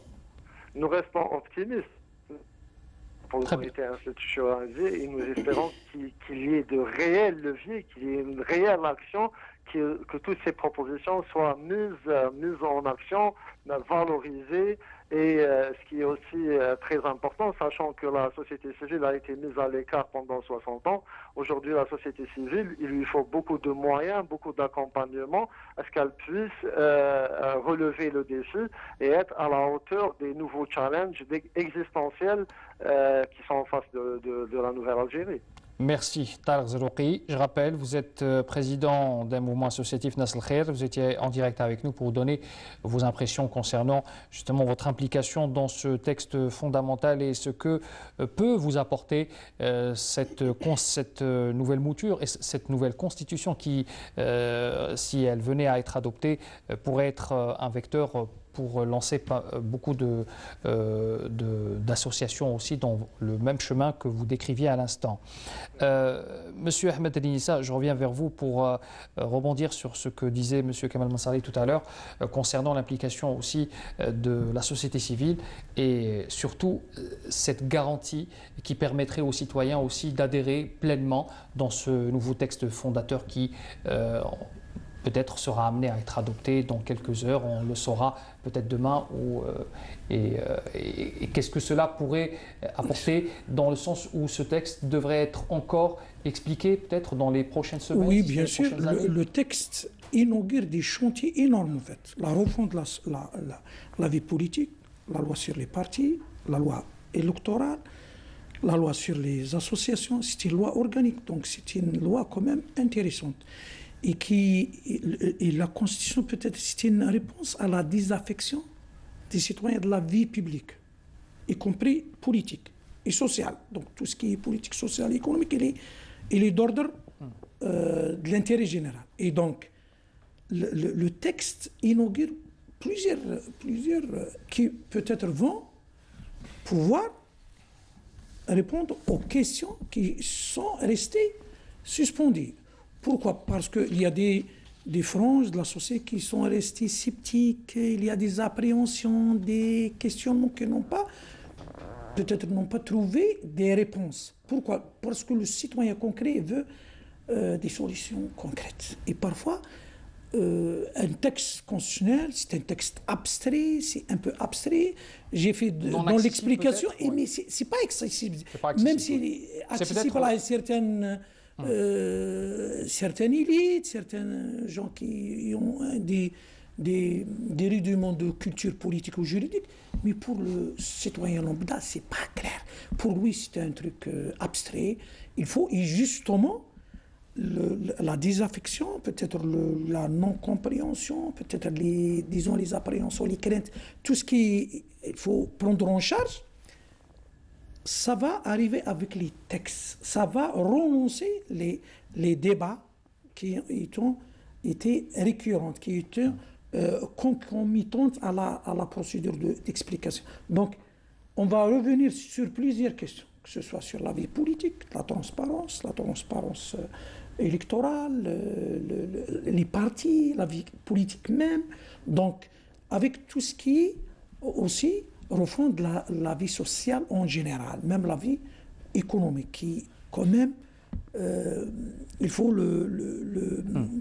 le, côté économique est important. Oui, justement. Sur, sur, les valeurs abstraites, euh, j'aimerais aussi euh, parler avec vous. Vous parliez d'un texte abstrait qui ne serait pas peut-être accessible aux citoyens lambda. Mais il, est nécessairement, disons, nécessairement abstrait. Nécessairement abstrait. Mais il y a certaines certains articles qui, qui ont intéressé plus que d'autres, notamment concernant l'état de droit, l'état de justice et surtout les libertés. Les libertés individuelles, ça a beaucoup interpellé euh, le débat dans le débat public. Euh, est-ce qu'on pourrait définir aujourd'hui que cette constitution est venue un peu euh, donner quelques, quelques garanties de ce côté-là? Puisque puisqu'on on a posé cette question par le passé. Est-ce que cette liberté est garantie? Est-ce que le citoyen algérien bénéficie et jouit de cette liberté de penser, de cette liberté de parler, de cette liberté de s'exprimer de manière libre? J'aurais d'abord juste une précision à, part, ce qui concerne les, associations. L'article 53 de la Constitution actuelle, celle qui vient d'être votée aujourd'hui, eh ben, elle est laconique sur, sur l'association. Juste un article qui n'est pas tout à fait explicite, mais bien, sûr. On dit aujourd'hui que les associations peuvent être, peuvent être créées par simple déclaration. C'est déjà un, un, un, verrou bureaucratique qui saute. Mais il faudrait, comme a dit monsieur, c'est définir cette. Euh, il faudrait les lois qui, euh, les, lois qui, qui, vont, enfin la loi qui va, euh, les déclinaisons organiques et, juridiques qui vont justifier et démontrer comment. Il ne s'agit pas simplement d'organiser, ou donner la, donner la faciliter l'accès aux associations et la création d'associations. L'environnement dans lequel doit travailler ces associations. Quelles sont les limites Qu'est-ce qu'on peut faire dans une association et qu'est-ce qu'on ne peut pas faire si on, parle de, droit de l'association, il ne s'agit pas de, créer des associations qui, qui, euh, qui, accompagnent une démarche politique. Ce n'est pas le rôle. La société, la société civile, c'est vrai qu'elle débat, c'est vrai qu'elle s'occupe de toutes les, questions relatives à la société, mais il n'y a pas que ça.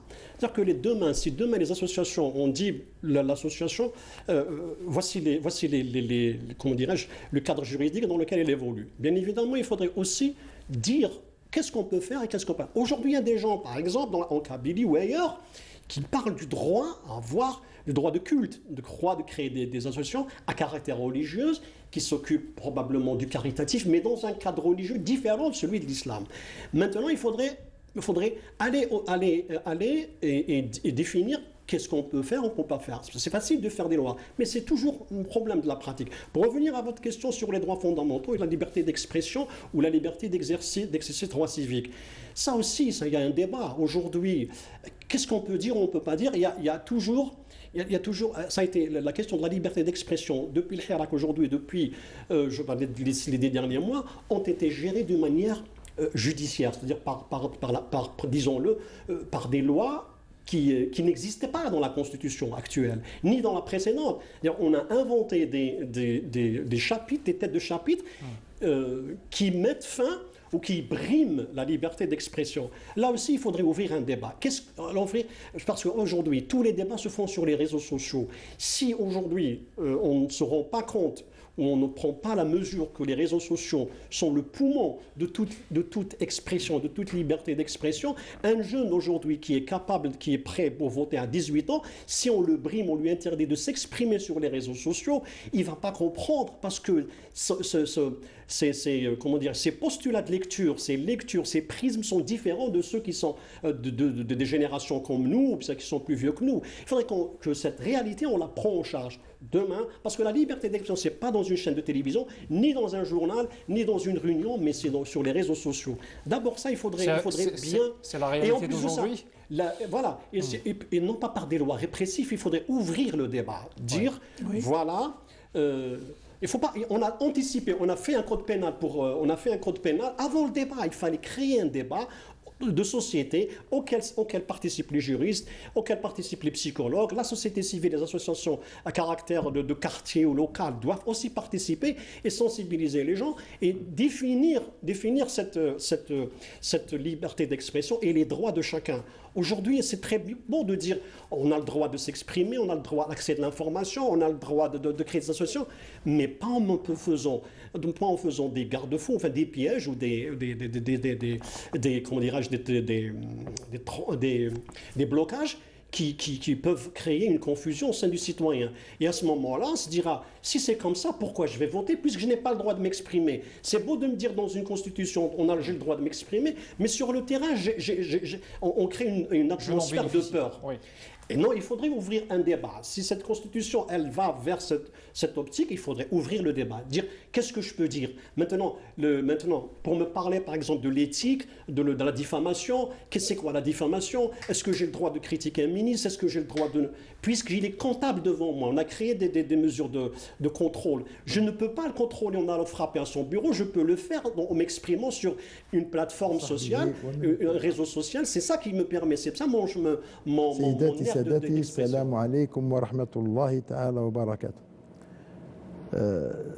سيدتي لقد سبق لي طوال يعني يوم الاقتراع أن أبدتكم بكل المعطيات الرقمية المتعلقة بسريان عملية الانتخاب. بقي لنا فقط رقمين أو معطيتين. المعطيات المتعلقة بنسبة المشاركة الإحصائية يعني بعد الإحصاء الأولي.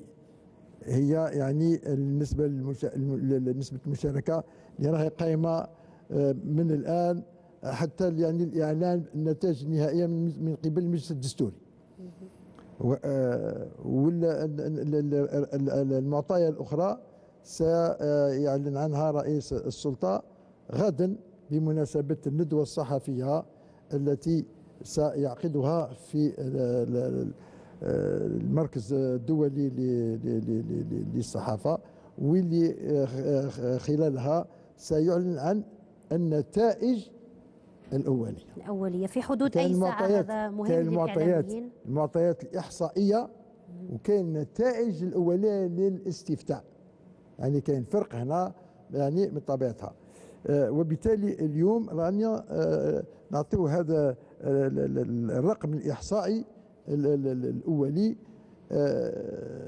اللي لن يتغير إلا بعد قرار المجلس الدستوري فلربما يلقى يعني الفوارق في هذيك ويعطينا الرقم الصحيح النهائي.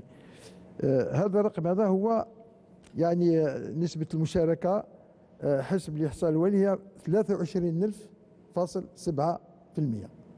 استغفر الله. 23.7% يعني هذه نسبة نهائية. عدد المسجلين 23 مليون و568 ألف و12 هذا ما تغيرش. عدد الناخبين المصوتين 5 ملايين و586 ألف و259 هذو الأرقام كان اللي عطيتهم الصباح ولكن الرقم الصحيح المدعم بالنسبة هو 23.7% هذه يعني المعطيات النهائية اللي تخص المعطيات الإحصائية. دونك راني معك إذا كان أسئلة أخرى.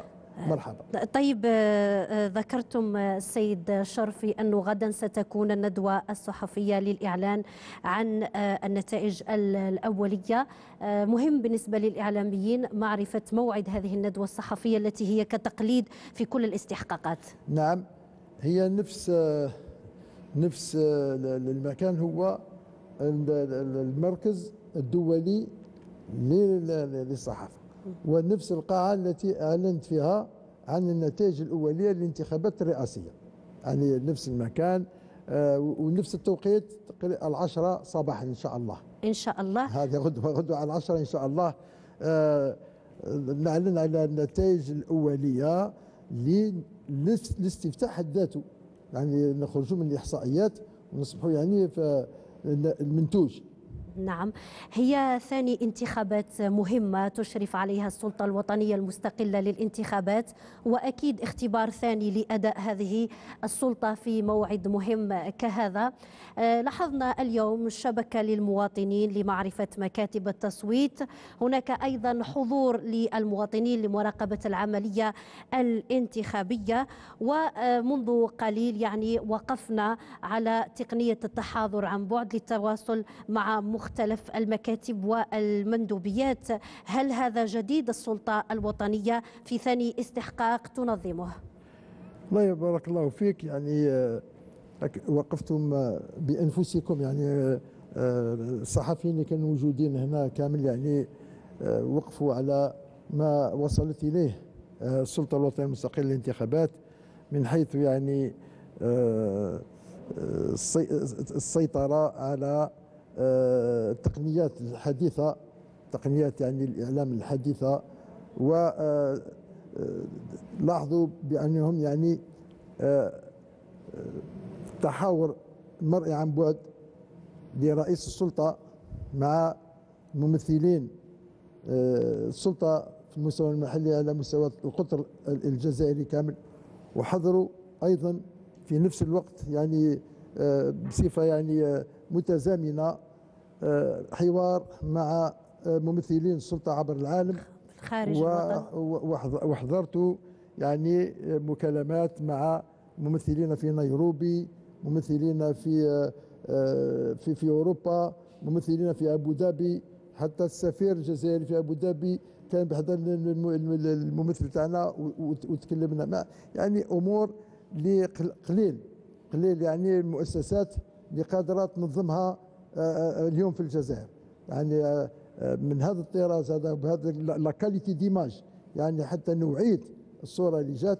تكلم السيد المدير العام للتلفازات لما شاف وشاف السعة يعني اللي لازم اللي لازم باش قال أنتم راكم أصبحتوا شاشة تلفزيونيه عصرية يعني لأن 200 ميجا باش تتحصل عليها قال المؤسسات اللي راهي عندهم هذه الإمكانيات هذه. الحمد لله. وفيما يخص أيضا يعني تسهيل العمل تاع الناخبين يعني عملنا تطبيقة جديدة لتسمح للمواطن بمعرفة يعني من خلال حتى موقع السلطة. يعني الجهاز النقال لديه يعرف يعني أين هو مسجل أين مكتب هو فيه يعني بكل سهولة. وهذا التطبيقيه هذه زاروها يعني حدثناها يعني في اليوم الأخير أكثر من 40 ألف مواطن جزائري استفادوا منها واغلبيتهم اللي تسالوا يعني كانوا من أوروبا ومن الجالية الجزائرية تاعنا في في الشرق الأوسط. اذا رانا في بحث مستمر وفي مجهود مستمر حتى نستطيع أن نجلب أكبر عدد ممكن من المواطنين ونسهل لهم يعني تسجيل في القوائم الانتخابية وإيصال إليهم يعني المعلومة الضروريه لإنارة رأيهم حتى يكون رأي يعني نزيه ورأي يعني عن درايه في في في اختياراتهم. هذه يعني الأمور. زيادة على هذا يعني وضعنا ترسانة من القوانين الجديدة. ترسانه جديدة لم تكن موجودة من قبل لتنظيم الاستفتاء. يعني كانت حقيقة القوانين تنظم الانتخابات انتخابات النفوسية لكن الاستفتاء لم يكن هناك يعني ترسانه تنظيمية. فالسلطة أصدرت سلسلة من القرارات جديدة اجتهدنا على كل حال مع المستشارين واستطعنا أن نؤطر بها هذه العملية. أظن بأن التأطير كان جدي وناجح وبمقتضى ذلك يعني تفادينا يعني التجاوزات وتفادينا أمور كثيرة. لأن القانون هو الذي كان الحاكم ويحتكم إليه الجميع وهذا ما يبشر بخير بنضج جديد لدى الفاعلين السياسيين في الجزائر. لأن كل واحد طلب حقوقه ولما شاف بأن الحقوق هذه مثلا القانون هو اللي ما يسمحش بها. ما كانش يعني اللي يطعن في المسار الديمقراطي في حد ذاته ولكن ارتضى بالحل القانوني ولو أنه يراه بأنه يعني كان مجحف في حقه كان قال ولكن ما طعنش في مبدأ هذا التنظيم هذايا. والحمد لله ما يبشر يعني بمسار ديمقراطي يعني صحيح هل المستقبل. هل هذه ضمانات لحماية صوت الناخب خاصة وانه الشعب الجزائري يعني لطالما لم يثق في الإدارة في تنظيم العملية الانتخابية؟ يعني بعد انتخابات الرئاسية في الحقيقة كنت أظن شخصيا بأن هذا الجدل وهذه الإشكالية لم تبقى مطروحة لأن لا يوجد أحد ولم يوجد أحد وإن شاء الله لن يوجد أحد يستطيع أن يطعن في مصداقية الانتخابات الرئاسية ل 12 ديسمبر. ديسمبر وشاهد يعني من أكبر الصحف ال- ال- الأمريكية يعني شاهد في بيان رسمي له بأن الرئيس عبد المجيد تبون انتخب ديمقراطيا وغير ذلك من الأمور وبالتالي آه، قلت نحن نطمح إلى الصعود إلى الأحسن. ما بقاتش مسألة تاع قسمنا بأن نجعل حد للتزوير وأقسمنا على ذلك بأن نبذل كل ما آه، حبانا به الله من آه، آه، طاقة فكرية ومن يعني أعوان ومساعدين من الطراز آه، آه، العالي والسلطة في حد ذاتها يعني متكونة من أساتذة ومن يعني كفاءات. رجال العلم من كفاءات وبالتالي آه، آه، تأمين تأمين آه، صوت الشعب آه، أصبح الآن آه، تقريبا آه، من ماهية السلطة من ماهيه السلطة. ومن أجل ذلك تجاوزنا حدود السلطة. وحدثنا آه، بعد ندائنا للنخبة الوطنية حدثنا بما آه، أطلقنا عليه تسميه حفاظ الأمانة. حفاظ الأمانة الأمانة هي صوت الشعب. حفاظ الأمانة. العدد نتاعهم اليوم راهو 350 ألف. 350 قلتها صباح ونكررها 350 ألف ما همش آه، يطلبوا في العمل. هذا راهم أساتذة راهم معلمين راهم موظفين راهم يعني الناس متطوعين باش يحافظوا على الأمانة كمؤطرين كمؤطرين لصوت الشعب.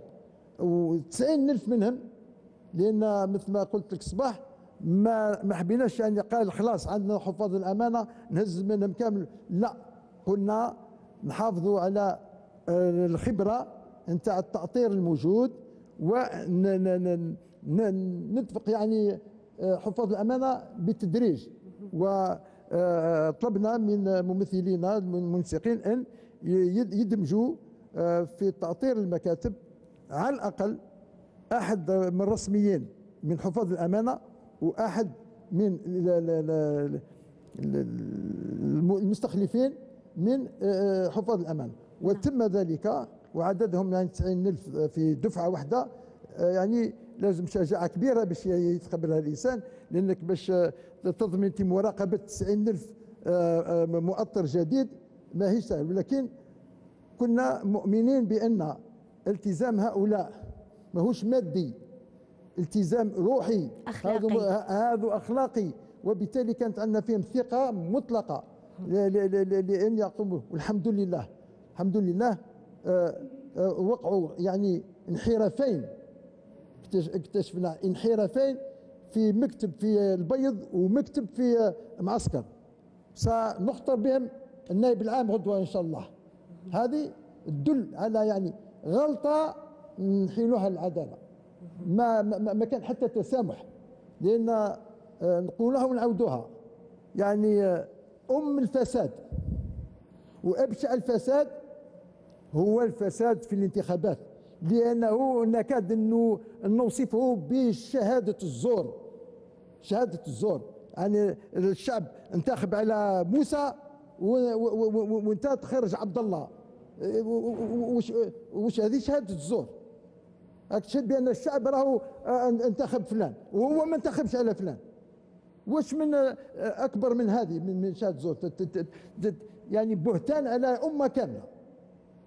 وبالتالي آه، السلطة الوطنية المستقله الهدف نتاعها الوحيد هو تنظيم الانتخابات من الناحيه المادية من الناحيه التنظيمية. ولكن كل ذلك من أجل هدف واحد القضاء القضاء القضاء على التزوير. هذه هي ال- هذه هي ال- ال- الهدف الأسمى فيها نعم هو في مسار. وبهذه المناسبة نعم. ما ما ما, ما, ما احناش نجري وحنا وراء نسب المشاركة.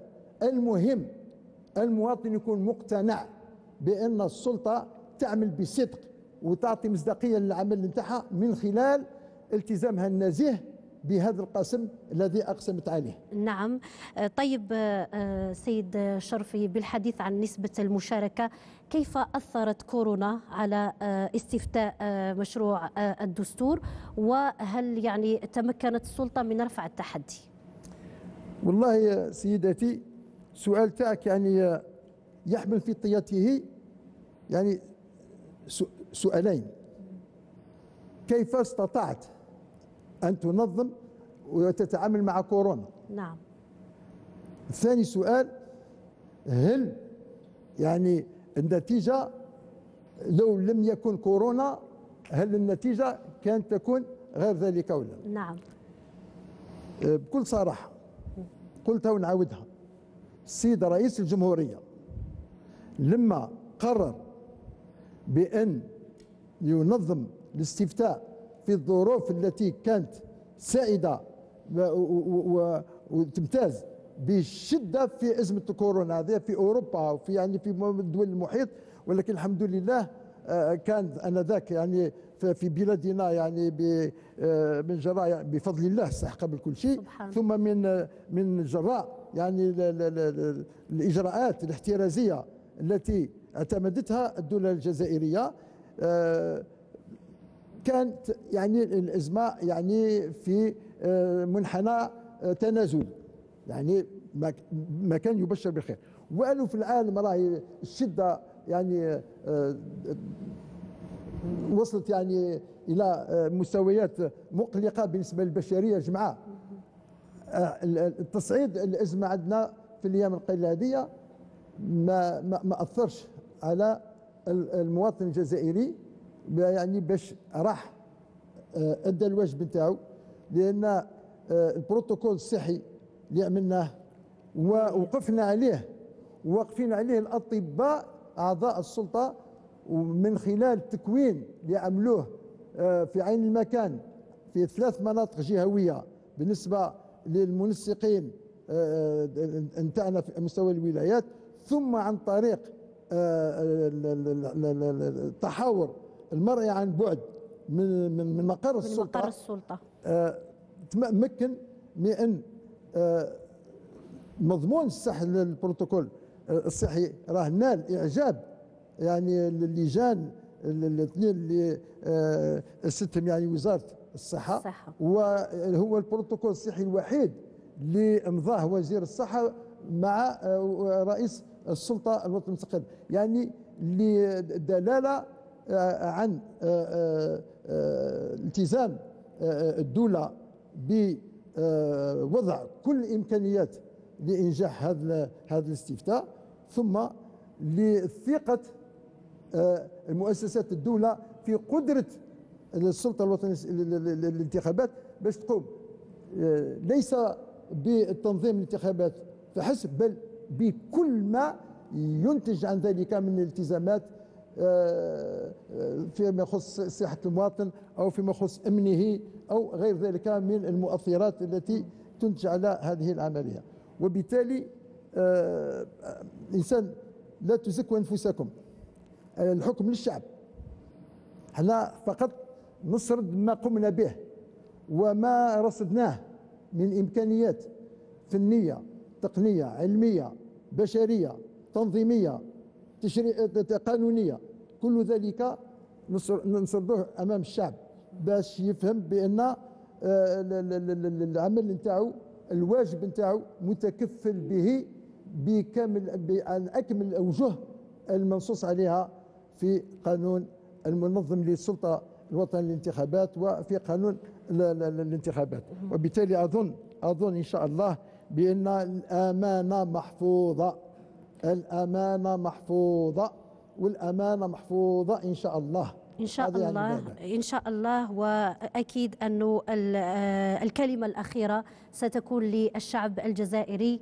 آه، سيد محمد شرفي شكرا جزيلا لك على كل هذه التوضيحات والمعطيات التي آه، قدمتها لنا خلال هذه السهرة الانتخابية. لا بأس أن نذكر بالنسبة التي قدمها السيد رئيس السلطة الوطنية المستقلة للانتخابات حول المشاركة النهائية والتي تقدر ب 23.7% رئيس السلطة الوطنية المستقلة للانتخابات سيكون له لقاء غدا بإذن الله في مركز المؤتمرات للإعلان عن النتائج الأولية النهائية إذا Alors, rebonsoir.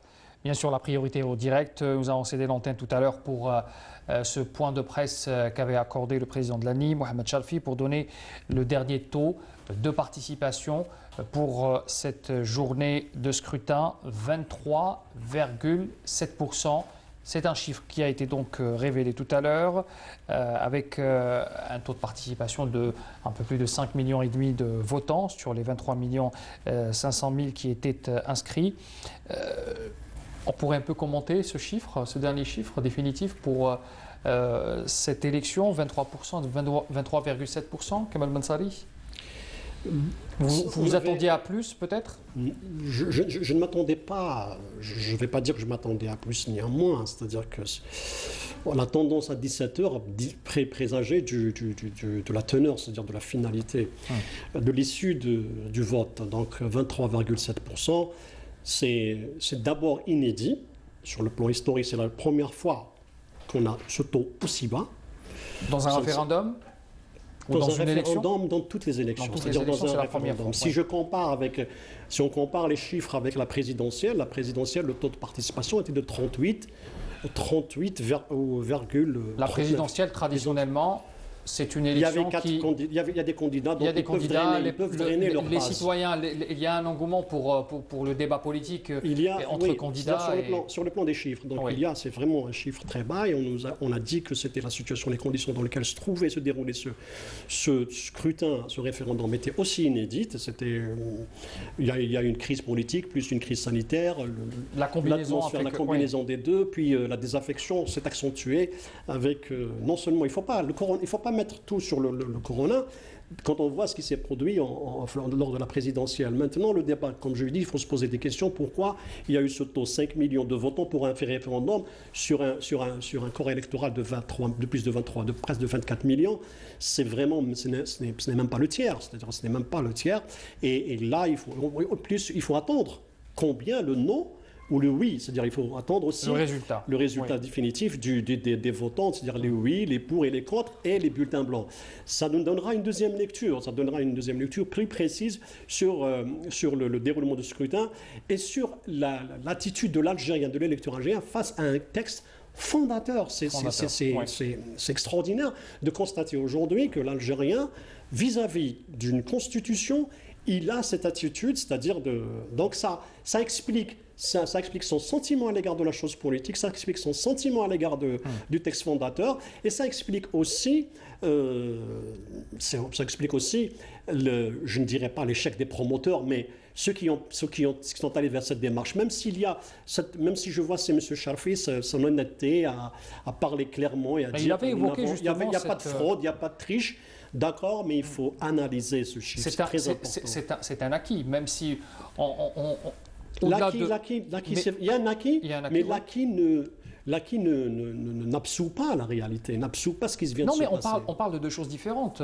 L'acquis d'avoir une élection transparente, peut-être que c'est la première fois ou peut-être l'une des rares fois en Algérie bah, tant mieux où nous avons, des élections où nous avons une, mieux, mais... de, résultats qui, sont, qui ne sont pas tronqués, qui ne sont pas...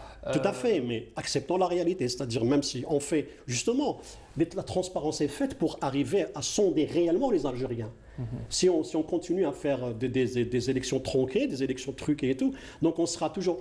On a, on a, on a fait des élections avec un, un, président élu à plus de 90%.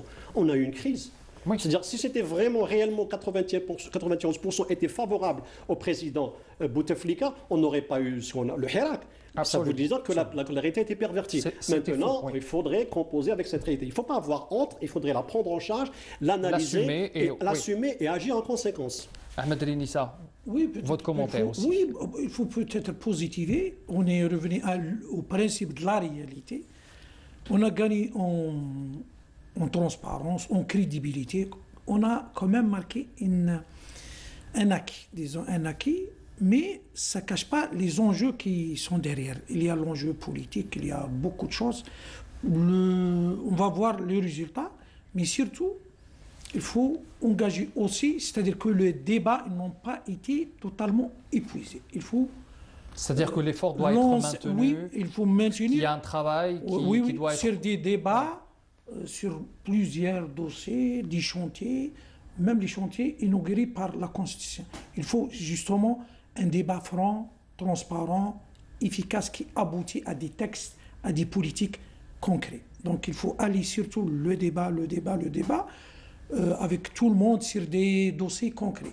Parce que le, la Constitution a, resté peut-être pour beaucoup de gens un, texte abstrait. Je reviens, comme je suis juriste, hum. Je vois l'abstraction, c'est-à-dire que les gens n'ont pas peut-être saisi tous les enjeux, les enjeux peut-être même politiques, sociaux. C'était une attitude qui, qui s'inscrit dans, dans la désaffection de la chose publique. Il y a un désintérêt d'intérêt public. J'arrive pas quand même. Il faut euh, engager vraiment, il faut euh, faire des recherches poussées, il faut aller au fond pour, expliquer le, Oui, oui, il faut aller au fond.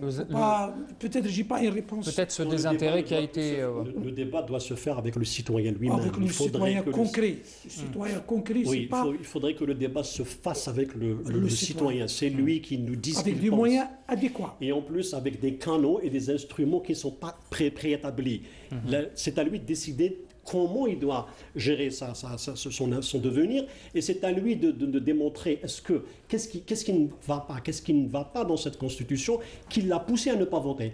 il faudrait pousser, crédibiliser les instruments, Bien sûr, les Il faut justement utiliser tous les moyens peut-être. Ce débat-là, c'est devenu maintenant c'est primordial. Vous, avez parlé tout à l'heure euh, de l'utilisation des réseaux sociaux pour un peu, euh, vous voyez un peu les citoyens qui expriment leur, leur opinion euh, sur beaucoup de sujets politiques, économiques et, même sur des questions internationales parfois. Est-ce que ce, ce, ce, canal doit être aujourd'hui un canal qui devrait intéresser nos décideurs pour toucher cette masse? Qui discutent, qui, qui, développent des idées, qui s'intéressent. Parce qu'il faut parler, il faut dire. Le Hirak a été un, élément qui a permis euh, au monde de, voir que l'Algérien, c'est quelqu'un qui s'intéresse à son pays, qui s'intéresse à la chose politique. Ce n'est pas quelqu'un qui, est à côté, qui, est absorbé peut-être par, par ce côté économique et sans penser à, à, la chose politique en elle-même. Bien sûr. Vous savez que le nombre d'abonnés de, au Facebook, le nombre de comptes en Algérie, il est supérieur au corps électoral. Il y a plus de 32 millions de comptes en Algérie contre 23 millions de, d'électeurs. Mhm. C'est un, marché potentiel, c'est un, un, réservoir important qu'il faut, qu'il faut, approcher. Bien évidemment, euh, euh, maintenant, tous communiquent, tout le monde communique sur, sur Facebook. En Algérie, c'est-à-dire contrairement à d'autres pays où c'est Twitter qui est le primordial, où le tweet est très important, contrairement. Mais ici c'est Facebook. si vous rappelez, si vous rappelez euh, l'Institut Brookings, quand il a fait euh, une étude sur l'Algérie, le rapport, vous, vous, devez, vous, avez dû le consulter, il est passé par Facebook, il, a, il est allé à l'approche, c'est un institut qui est sommité, c'est-à-dire il est crédible, il est allé vers ce réseau-là parce que les Algériens sont présents dans ce réseau. Peu importe, la, peu importe la, les conclusions du rapport, qu'il soit bon ou pas bon, mais la démarche, elle est allée sur Facebook parce que le marché ou bien le, réservoir de discussion et d'échange et, d'expression, hmm. et il est sur Facebook. Et sur ce terrain-là qu'il y a eu des problématiques, c'est sur ce terrain-là que des gens ont été emprisonnés pour dépassement euh, selon, selon, selon la justice, et sur ce terrain-là qu'on qu'on qu'on manipule, et sur ce terrain-là qu'on arrive à brasser des, des adhésions, que ce soit euh, par les partis politiques, les personnalités, les influenceurs, etc. Donc ce terrain-là doit être, il faudrait que l'État comprenne que les réseaux sociaux ne doivent pas être perçus comme un danger ou bien comme un moyen à verrouiller par quelques, moyens que ce soit. On ne peut pas changer une réalité. En plus, même si on verrouille ce, réseau, il y a d'autres réseaux qui sont en train de naître, qui vont devenir aussi des terrains de discussion, des terrains d'échange et de, et et et comment et d'expression. Donc, il faudrait aller vers. Vous avez posé la question sur cette, importance d'aller vers les réseaux sociaux et en même temps parce que c'est le, le, moyen le plus facile d'accéder aux gens dans la situation actuelle où il est impossible de se réunir, il est impossible d'aller sur le terrain pour les risques qu'on le conseille. Et en plus, on ne sait pas si cette, cette, crise sanitaire, euh, le temps de combien elle va durer. Donc à partir du résultat d'aujourd'hui, la taux de participation, il faut ouvrir le débat. Il faut ouvrir le débat et non pas désigner des gens désigné à l'avance des gens qui sont, il n'y a que ces gens-là, on a mis en vitrine des, les mêmes interlocuteurs, qu'il y a, tous les débats se font avec les mêmes personnes, qu'on a sélectionné, qu'on a trié au volet, et on a, laissé, on a laissé des gens qui sont crédibles, qui peuvent apporter beaucoup de choses à cette... À cette une, une, Ils peuvent apporter, peu importe, même s'ils sont en contradiction avec, avec vous, ils peuvent quand même apporter euh, un plus au débat général et à, la résolution et règlement de la crise actuelle, parce qu'avec 23%, on n'a pas réglé la crise finalement. Votre avis sur les réseaux sociaux aujourd'hui Est-ce que c'est important euh, que les acteurs politiques et l'État en général s'intéressent à cette... S'intéressent à ce... investissent et, prendre en charge cet aspect. Parce que ce terrain, ce terrain comme l'avait dit M. Monsaré, est occupé. Il, est occupé. Il est occupé peut-être par euh, certaines parties qui euh, voudraient un peu dévier un peu euh, l'opinion publique. Oui, bien sûr qu'elle a été l'otage des gens qui ont instrumentalisé, qui ont politisé, qui ont dévoyé. Et qui sont rodés à, cet exercice. Ah, oui. Ça fait des années, on, est bien d'accord. Et donc il faut investir, il faut hmm. investir carrément par la formation, par tous les moyens de l'État. Ils sont là, on peut remonter rapidement il faut investir techniquement d'abord, euh, sur le plan de la formation et la prise en charge, la prise de conscience. Il faut être conscient. C'est-à-dire, malgré euh, ces temps de millions de comptes, comme disait mon ami, on n'a pas, dans le débat, par exemple, sur la, Constitution ou, ou, la promotion de cette campagne, on n'a pas utilisé l'Internet, le, Facebook, les, les, tweets. On l'a utilisé peut-être pas de la meilleure façon qui soit. D'une façon, d'une façon presque étriquée, il ne faut pas, faut pas carrément. Le résultat n'a pas été au Oui, oui. C'est-à-dire, on a, disons, la campagne n'a pas été adaptée au contexte réel. C'est-à-dire. Hmm. Au débat qui se déroule sur l'espace bleu. Oui, oui. On n'a pas quand même euh, euh, insisté certains points qui ont semé le discorde, qui ont été instrumentalisés, sur les erreurs, sur les faussetés. Il y a beaucoup de choses que n'ont pas. C'est-à-dire, on sent qu'il n'y a pas une campagne qui vise des enjeux. C'est-à-dire, on a présenté la, Constitution, même j'ai participé pour la création, je ne suis pas un, hmm. politique, j'ai participé. On essaye d'expliquer qu'est-ce que c'est une, une, cour constitutionnelle, qu'est-ce qu'est une justice indépendante. Pour le citoyen, ça, pour lui, c'est. C'est de l'abstrait, vous l'avez dit tout à l'heure. mais, il fallait, mais, il fallait, mais il fallait, pour les politiques, les, gens, les promoteurs, comme me disait, les promoteurs, il fallait euh, qu'il aille sur les enjeux réels, les questions, les appréhensions, les craintes, les erreurs, les manipulations. Il fallait peut-être aussi permettre aux citoyens de, se projeter aussi sur certains textes, c'est-à-dire expliquer le texte et donner cette impression aux citoyens de, de se projeter et de voir quel résultat pourrait amener ce, ce, texte dans sa vie de tous les jours. C'est peut-être ça qui pourrait... Oui, justement, justement. Et, ça, c'était en fait, en principe, le, la mission des, promoteurs euh, eux-mêmes. C'est-à-dire qu'il fallait faire l'effort d'explication, euh, il fallait mobiliser des gens crédibles, euh, il fallait aller dans la proximité, même la proximité par l'Internet. Mmh. C'était une campagne référendaire qui s'est durée dans des conditions sincèrement difficiles, mais il fallait s'adapter, il fallait euh, utiliser des, des, instruments efficaces euh, de proximité, expliquer d'une façon peut-être concrète, peut aller à des enjeux. Euh, des enjeux concrets pour un citoyen concret. Absolument. C'est juste, juste, pour vous rappeler, quand vous avez parlé de prise de conscience, moi, moi je sais, bon, on sait que l'Algérien est conscient de ce qu'il veut, de ses besoins. Il les a exprimés. La conscience des, des, des, gens, des décideurs. Oui, donc une prise de conscience, même l'Algérien est conscient, c'est-à-dire il ne faut pas croire qu'il ne comprend pas la Constitution, ou bien c'est vrai que dans, le terme technique, il ne va pas vous l'exprimer en termes techniques comme les juristes ou les constitutionnalistes, mais en réalité, il connaît ses vrais problèmes, il les a exprimés des semaines durant, durant le Hirak, et il, les a, exprimés. Certaines revendications sont tout à fait, euh, comment dirais-je, euh, plausibles, plausibles et en même temps, et en même temps, c'est quelqu'un qui veut s'investir. Il n'a pas les moyens. Le seul moyen de cette expression était la rue. S'il avait les moyens d'action média, s'il avait les moyens d'accéder, de parler librement sur les réseaux sociaux, on n'aurait peut-être pas eu le Hirak. Mais actuellement, il faudrait si, si maintenant que le, retour aux manifestations est, comment dirais-je, est, tributaire de, de, la, de, de, la situation sanitaire, il faudrait que le citoyen sente qu'il a un, autre, une autre espace d'expression. S'il ne trouve pas qu'il n'a pas un autre espace d'expression, on ne sait pas où il va, comment il va se comporter. Et en même temps, aujourd'hui, il, nous a, il, a donné une, une, une, une sorte de message. Il dit, il dit, vous avez une constitution, je ne suis pas intéressé, nous sommes, la majorité n'est pas intéressée, il y a eu 5 millions.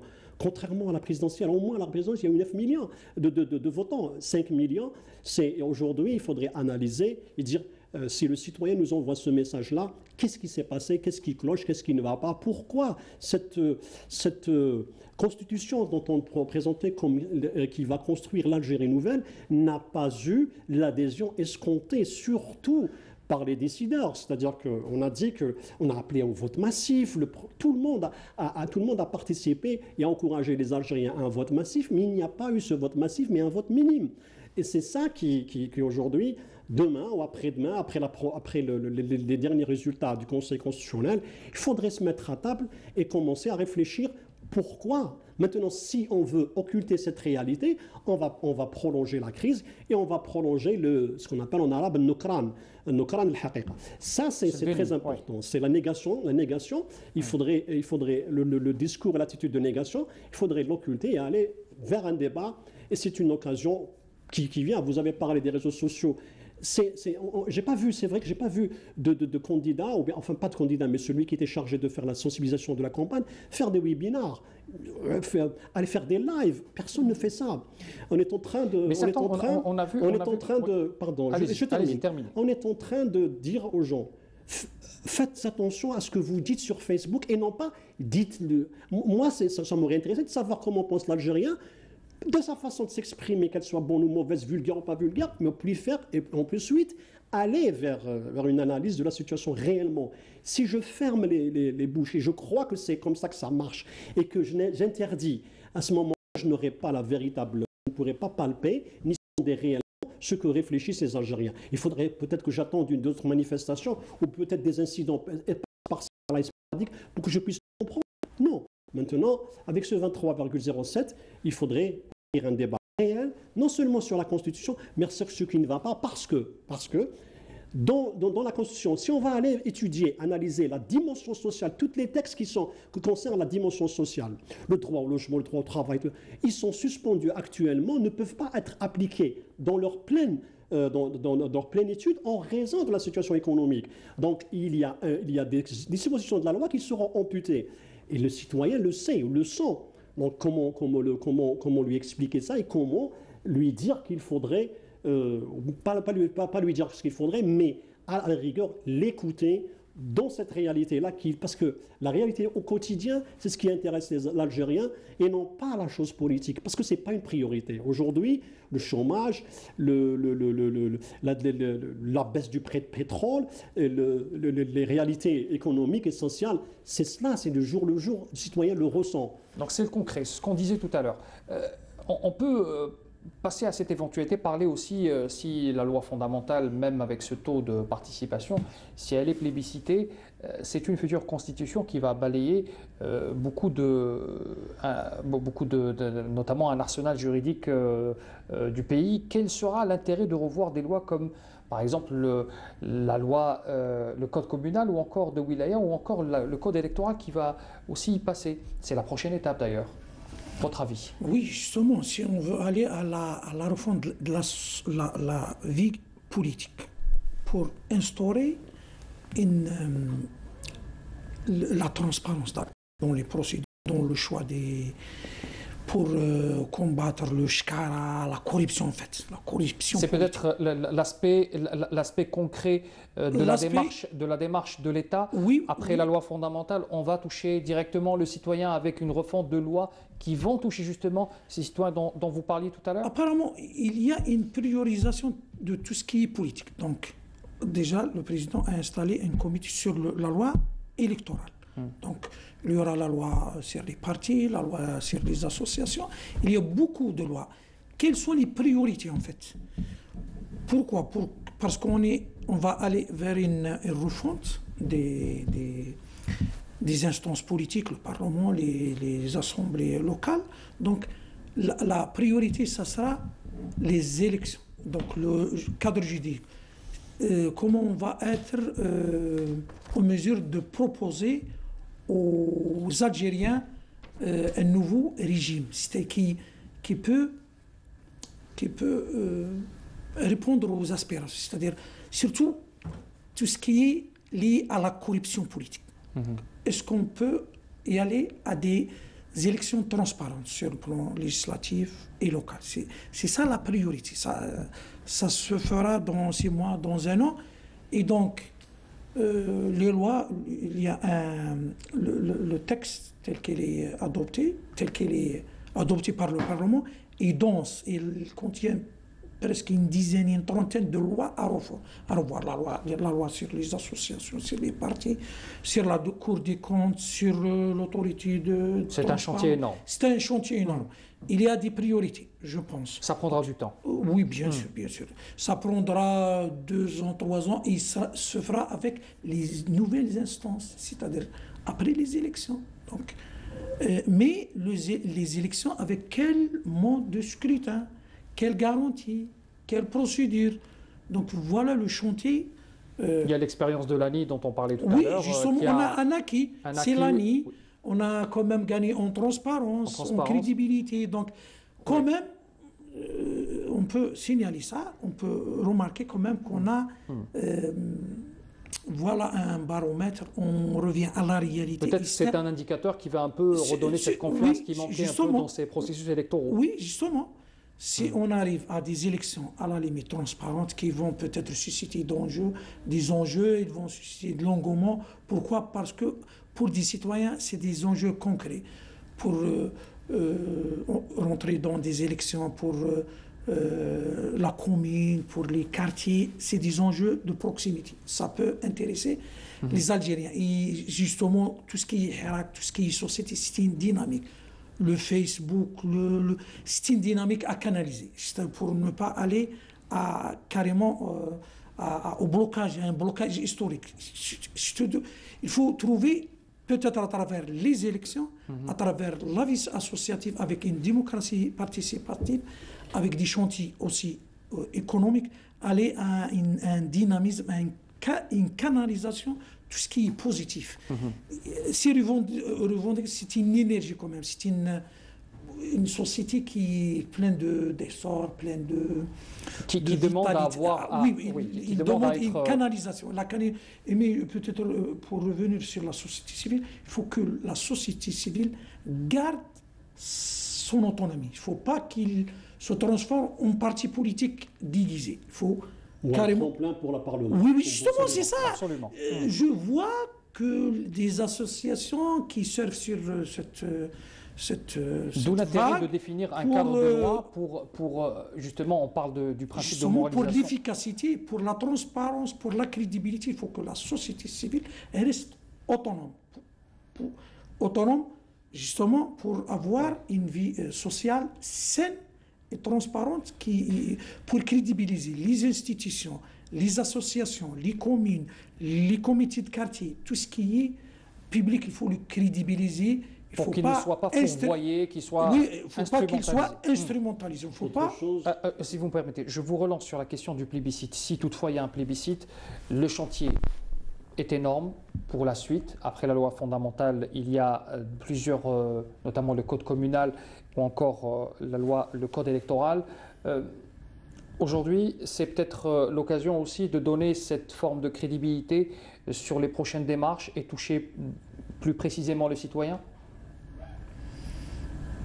Là, là aussi, c'est là aussi c'est quand même une question de, confiance. Est-ce que le citoyen est disposé à participer dans une démarche de que ce soit de développement ou de participation à, l'élaboration des textes? Comment, comment parce que là, euh, on va pas, il ne faut pas voir la chose que du côté des autorités, mais du côté du citoyen. Est-ce que le citoyen est disposé à participer à un débat ou à, toute action qui pourrait changer son devenir? C'est vrai qu'aujourd'hui, le citoyen est le, le centre, c'est la motrice, la matrice du, de la légitimité et tout. mais en même temps, il ne faudra pas que les associations phagocytent, cette, cette, le citoyen pour devenir des machines électorales. Mmh. On ne peut pas avoir, c'est pas normal, on ne peut pas avoir un Parlement fait de, de, de membres de la, de la société civile. Non, c'est les partis politiques qui font, ce sont eux. Les associations ne sont là que pour accompagner, que pour faire de l'arbitrage. Ce sont ce qu'on appelle les, les, structures d'arbitrage dans une société importante comme les syndicats. Ils ne sont pas là pour prendre nos pouvoirs ni pour remplacer les partis. C'est impossible. Hmm. Ce sont des structures d'arbitrage. Quand il y a une crise, les associations interviennent, comme les intellectuels, comme les syndicats, lorsqu'elles sont autonomes et indépendantes. Maintenant, si on essaie de si, on essaie d'éliminer les partis pour créer un parlement, des parlements ou une configuration politique basée sur les associations, là on a encore politisé les associations et on a perverti le rôle, on les a rendus des machines électorales, des comités de soutien et probablement des, de, nouveaux classiques et des gens qui ne parlent que de ne pensent qu'à leur immunité parlementaire. Ce n'est pas le but. Il ne faut pas que ça se passe de la sorte. Mhm. Les associations sont pour, pour faire de l'arbitrage et dire que ce soit aux élus, aux politiques, aux partis, stop ou bien les corriger un trajectoire, intervenir dans un problème ou dans une crise qui concerne la communauté, mais pas pour devenir des machines électorales. Il faut faire attention à ça. Entre, autres, les partis politiques, ce sont eux qui sont là. Par vocation, un parti politique, il est là pour prendre le pouvoir. C'est son, objectif. Hmm. C'est aussi les partis politiques qu'il faut encourager. Il ne suffit pas de tabler uniquement sur l'association. On ne peut pas se, défaire de, la classe politique. On ne peut pas faire l'impasse sur les partis politiques. Ils sont, importants pour l'équilibre. Ce sont eux qui font la politique, ce sont eux qui, gèrent les devenirs des, des pays, du, hmm. du, citoyen dont il, dans lesquels il se reconnaît. Maintenant, est-ce que le citoyen est capable On ne va pas s'adresser uniquement au citoyen. Le citoyen, il se traduit comment? Il a une idéologie probablement, il, a des, il, adhère aussi. Il adhère à des partis, il hmm. peut être fait par, partie d'une association. Donc il ne faut pas l'isoler, il faudrait aller chercher le citoyen dans le cadre dans lequel il se reconnaît. Et ce n'est pas, ce n'est pas, ce n'est pas, ce n'est pas une tare de, de, convoquer ou de, solliciter le maximum d'avis, quelle que soit leur chapelle, quelle que soit leur divergence et quelle que soit leur posture, pour pouvoir aboutir à un consensus. Parce que la Constitution à la base était censée être, et c'est censé être un document de consensus. Si on n'a pas obtenu le consensus aujourd'hui, il faudrait le prendre plus tard, mais il faut examiner les raisons pour lesquelles cette, cette Constitution n'a pas abouti au plébiscite dont vous parlez et en même temps trouver les mécanismes et les solutions pour la rendre, pour la légitimer, pour la légitimer en plus, la légitimer pas, euh, par rapport euh, au choix du citoyen, par rapport à ce qu'il souhaite, et, par rapport en analysant aussi ce, cette désaffection qui, qui, est historique, bien évidemment, parce que est-ce qu'aujourd'hui on va être fier d'avoir été transparent dans l'élection ou se poser les questions. Si on veut être fier, ah, nous avons été 23%, nous sommes fiers parce que nous avons été transparents, il n'y a pas eu de fraude. Est-ce que c'est cette fierté qu'on cherche ou bien réfléchir sur les véritables causes qui ont mmh. donné à ce 23% eh bien, euh, merci pour votre intervention. Je vous laisse euh, un mot de fin pour vous, Monsieur Tenissa, sur, euh, sur ce déroulement et sur votre vision de, de, justement de cette, de cette expérience par rapport à, à cette révision de la Constitution avec les conditions qu'on connaît aujourd'hui. Il faut tirer les enseignements, il faut tirer des conclusions, il faut aller chercher les causes, comme disait, pourquoi la désaffection, et surtout, peut-être, il faut peut-être ouvrir, c'est pas peut-être, il faut ouvrir le débat sur chaque chantier qui est déjà dans la Constitution, que ce soit les associations, les partis, la décentralisation, qui est apparemment... La séparation des pouvoirs, l'indépendance. Peut-être ce qui va euh, crédibiliser la Constitution, ce qui a crédibilisé la démarche, ce qui a crédibilisé peut-être les chantiers futurs qu'il faut... Euh, il faut se pencher dessus. Euh, d'une façon concrète, crédible, euh, avec des audits, avec des, de l'expérience, avec des citoyens concrets, avec des, des gens engagés pour l'Algérie, ce n'est pas pour des intérêts. Eh bien, merci beaucoup. Le débat a été très intéressant avec vous, messieurs. Merci encore une fois d'avoir accepté notre invitation. Notre invitation. Je rappelle, Ahmed Nissa, vous êtes spécialiste en droit constitutionnel. Merci d'avoir été avec nous. Kamal Mansari, directeur de publication du Jeune Indépendant. Merci d'avoir été avec nous sur ce plateau. On remercie également euh, Monsieur Khaled Amara, euh, membre de l'ANI, qui était avec nous par Skype à partir de Créteil. Chazil Narmouche, également membre de l'ANI, qui était avec nous à partir de Pontoise. Sans oublier Monsieur Tarek Zarouki, euh, président de l'association Nasl Khir, et qui était avec nous par téléphone. Je rappelle encore une fois que demain, à 10h précisément, il y aura une conférence de presse qui sera animée par euh, le président de l'ANI pour revenir en détail sur les chiffres qui ont caractérisé cette journée de scrutin, notamment le taux de participation, avec plus de détails concernant les chiffres au niveau national, mais également au niveau de notre communauté établie à l'étranger. Je remercie encore une fois euh, l'équipe technique qui était avec nous et qui nous ont accompagnés pour cette soirée. Il est pratiquement minuit moins quart. Très bonne soirée à tous et euh, vive Algérie.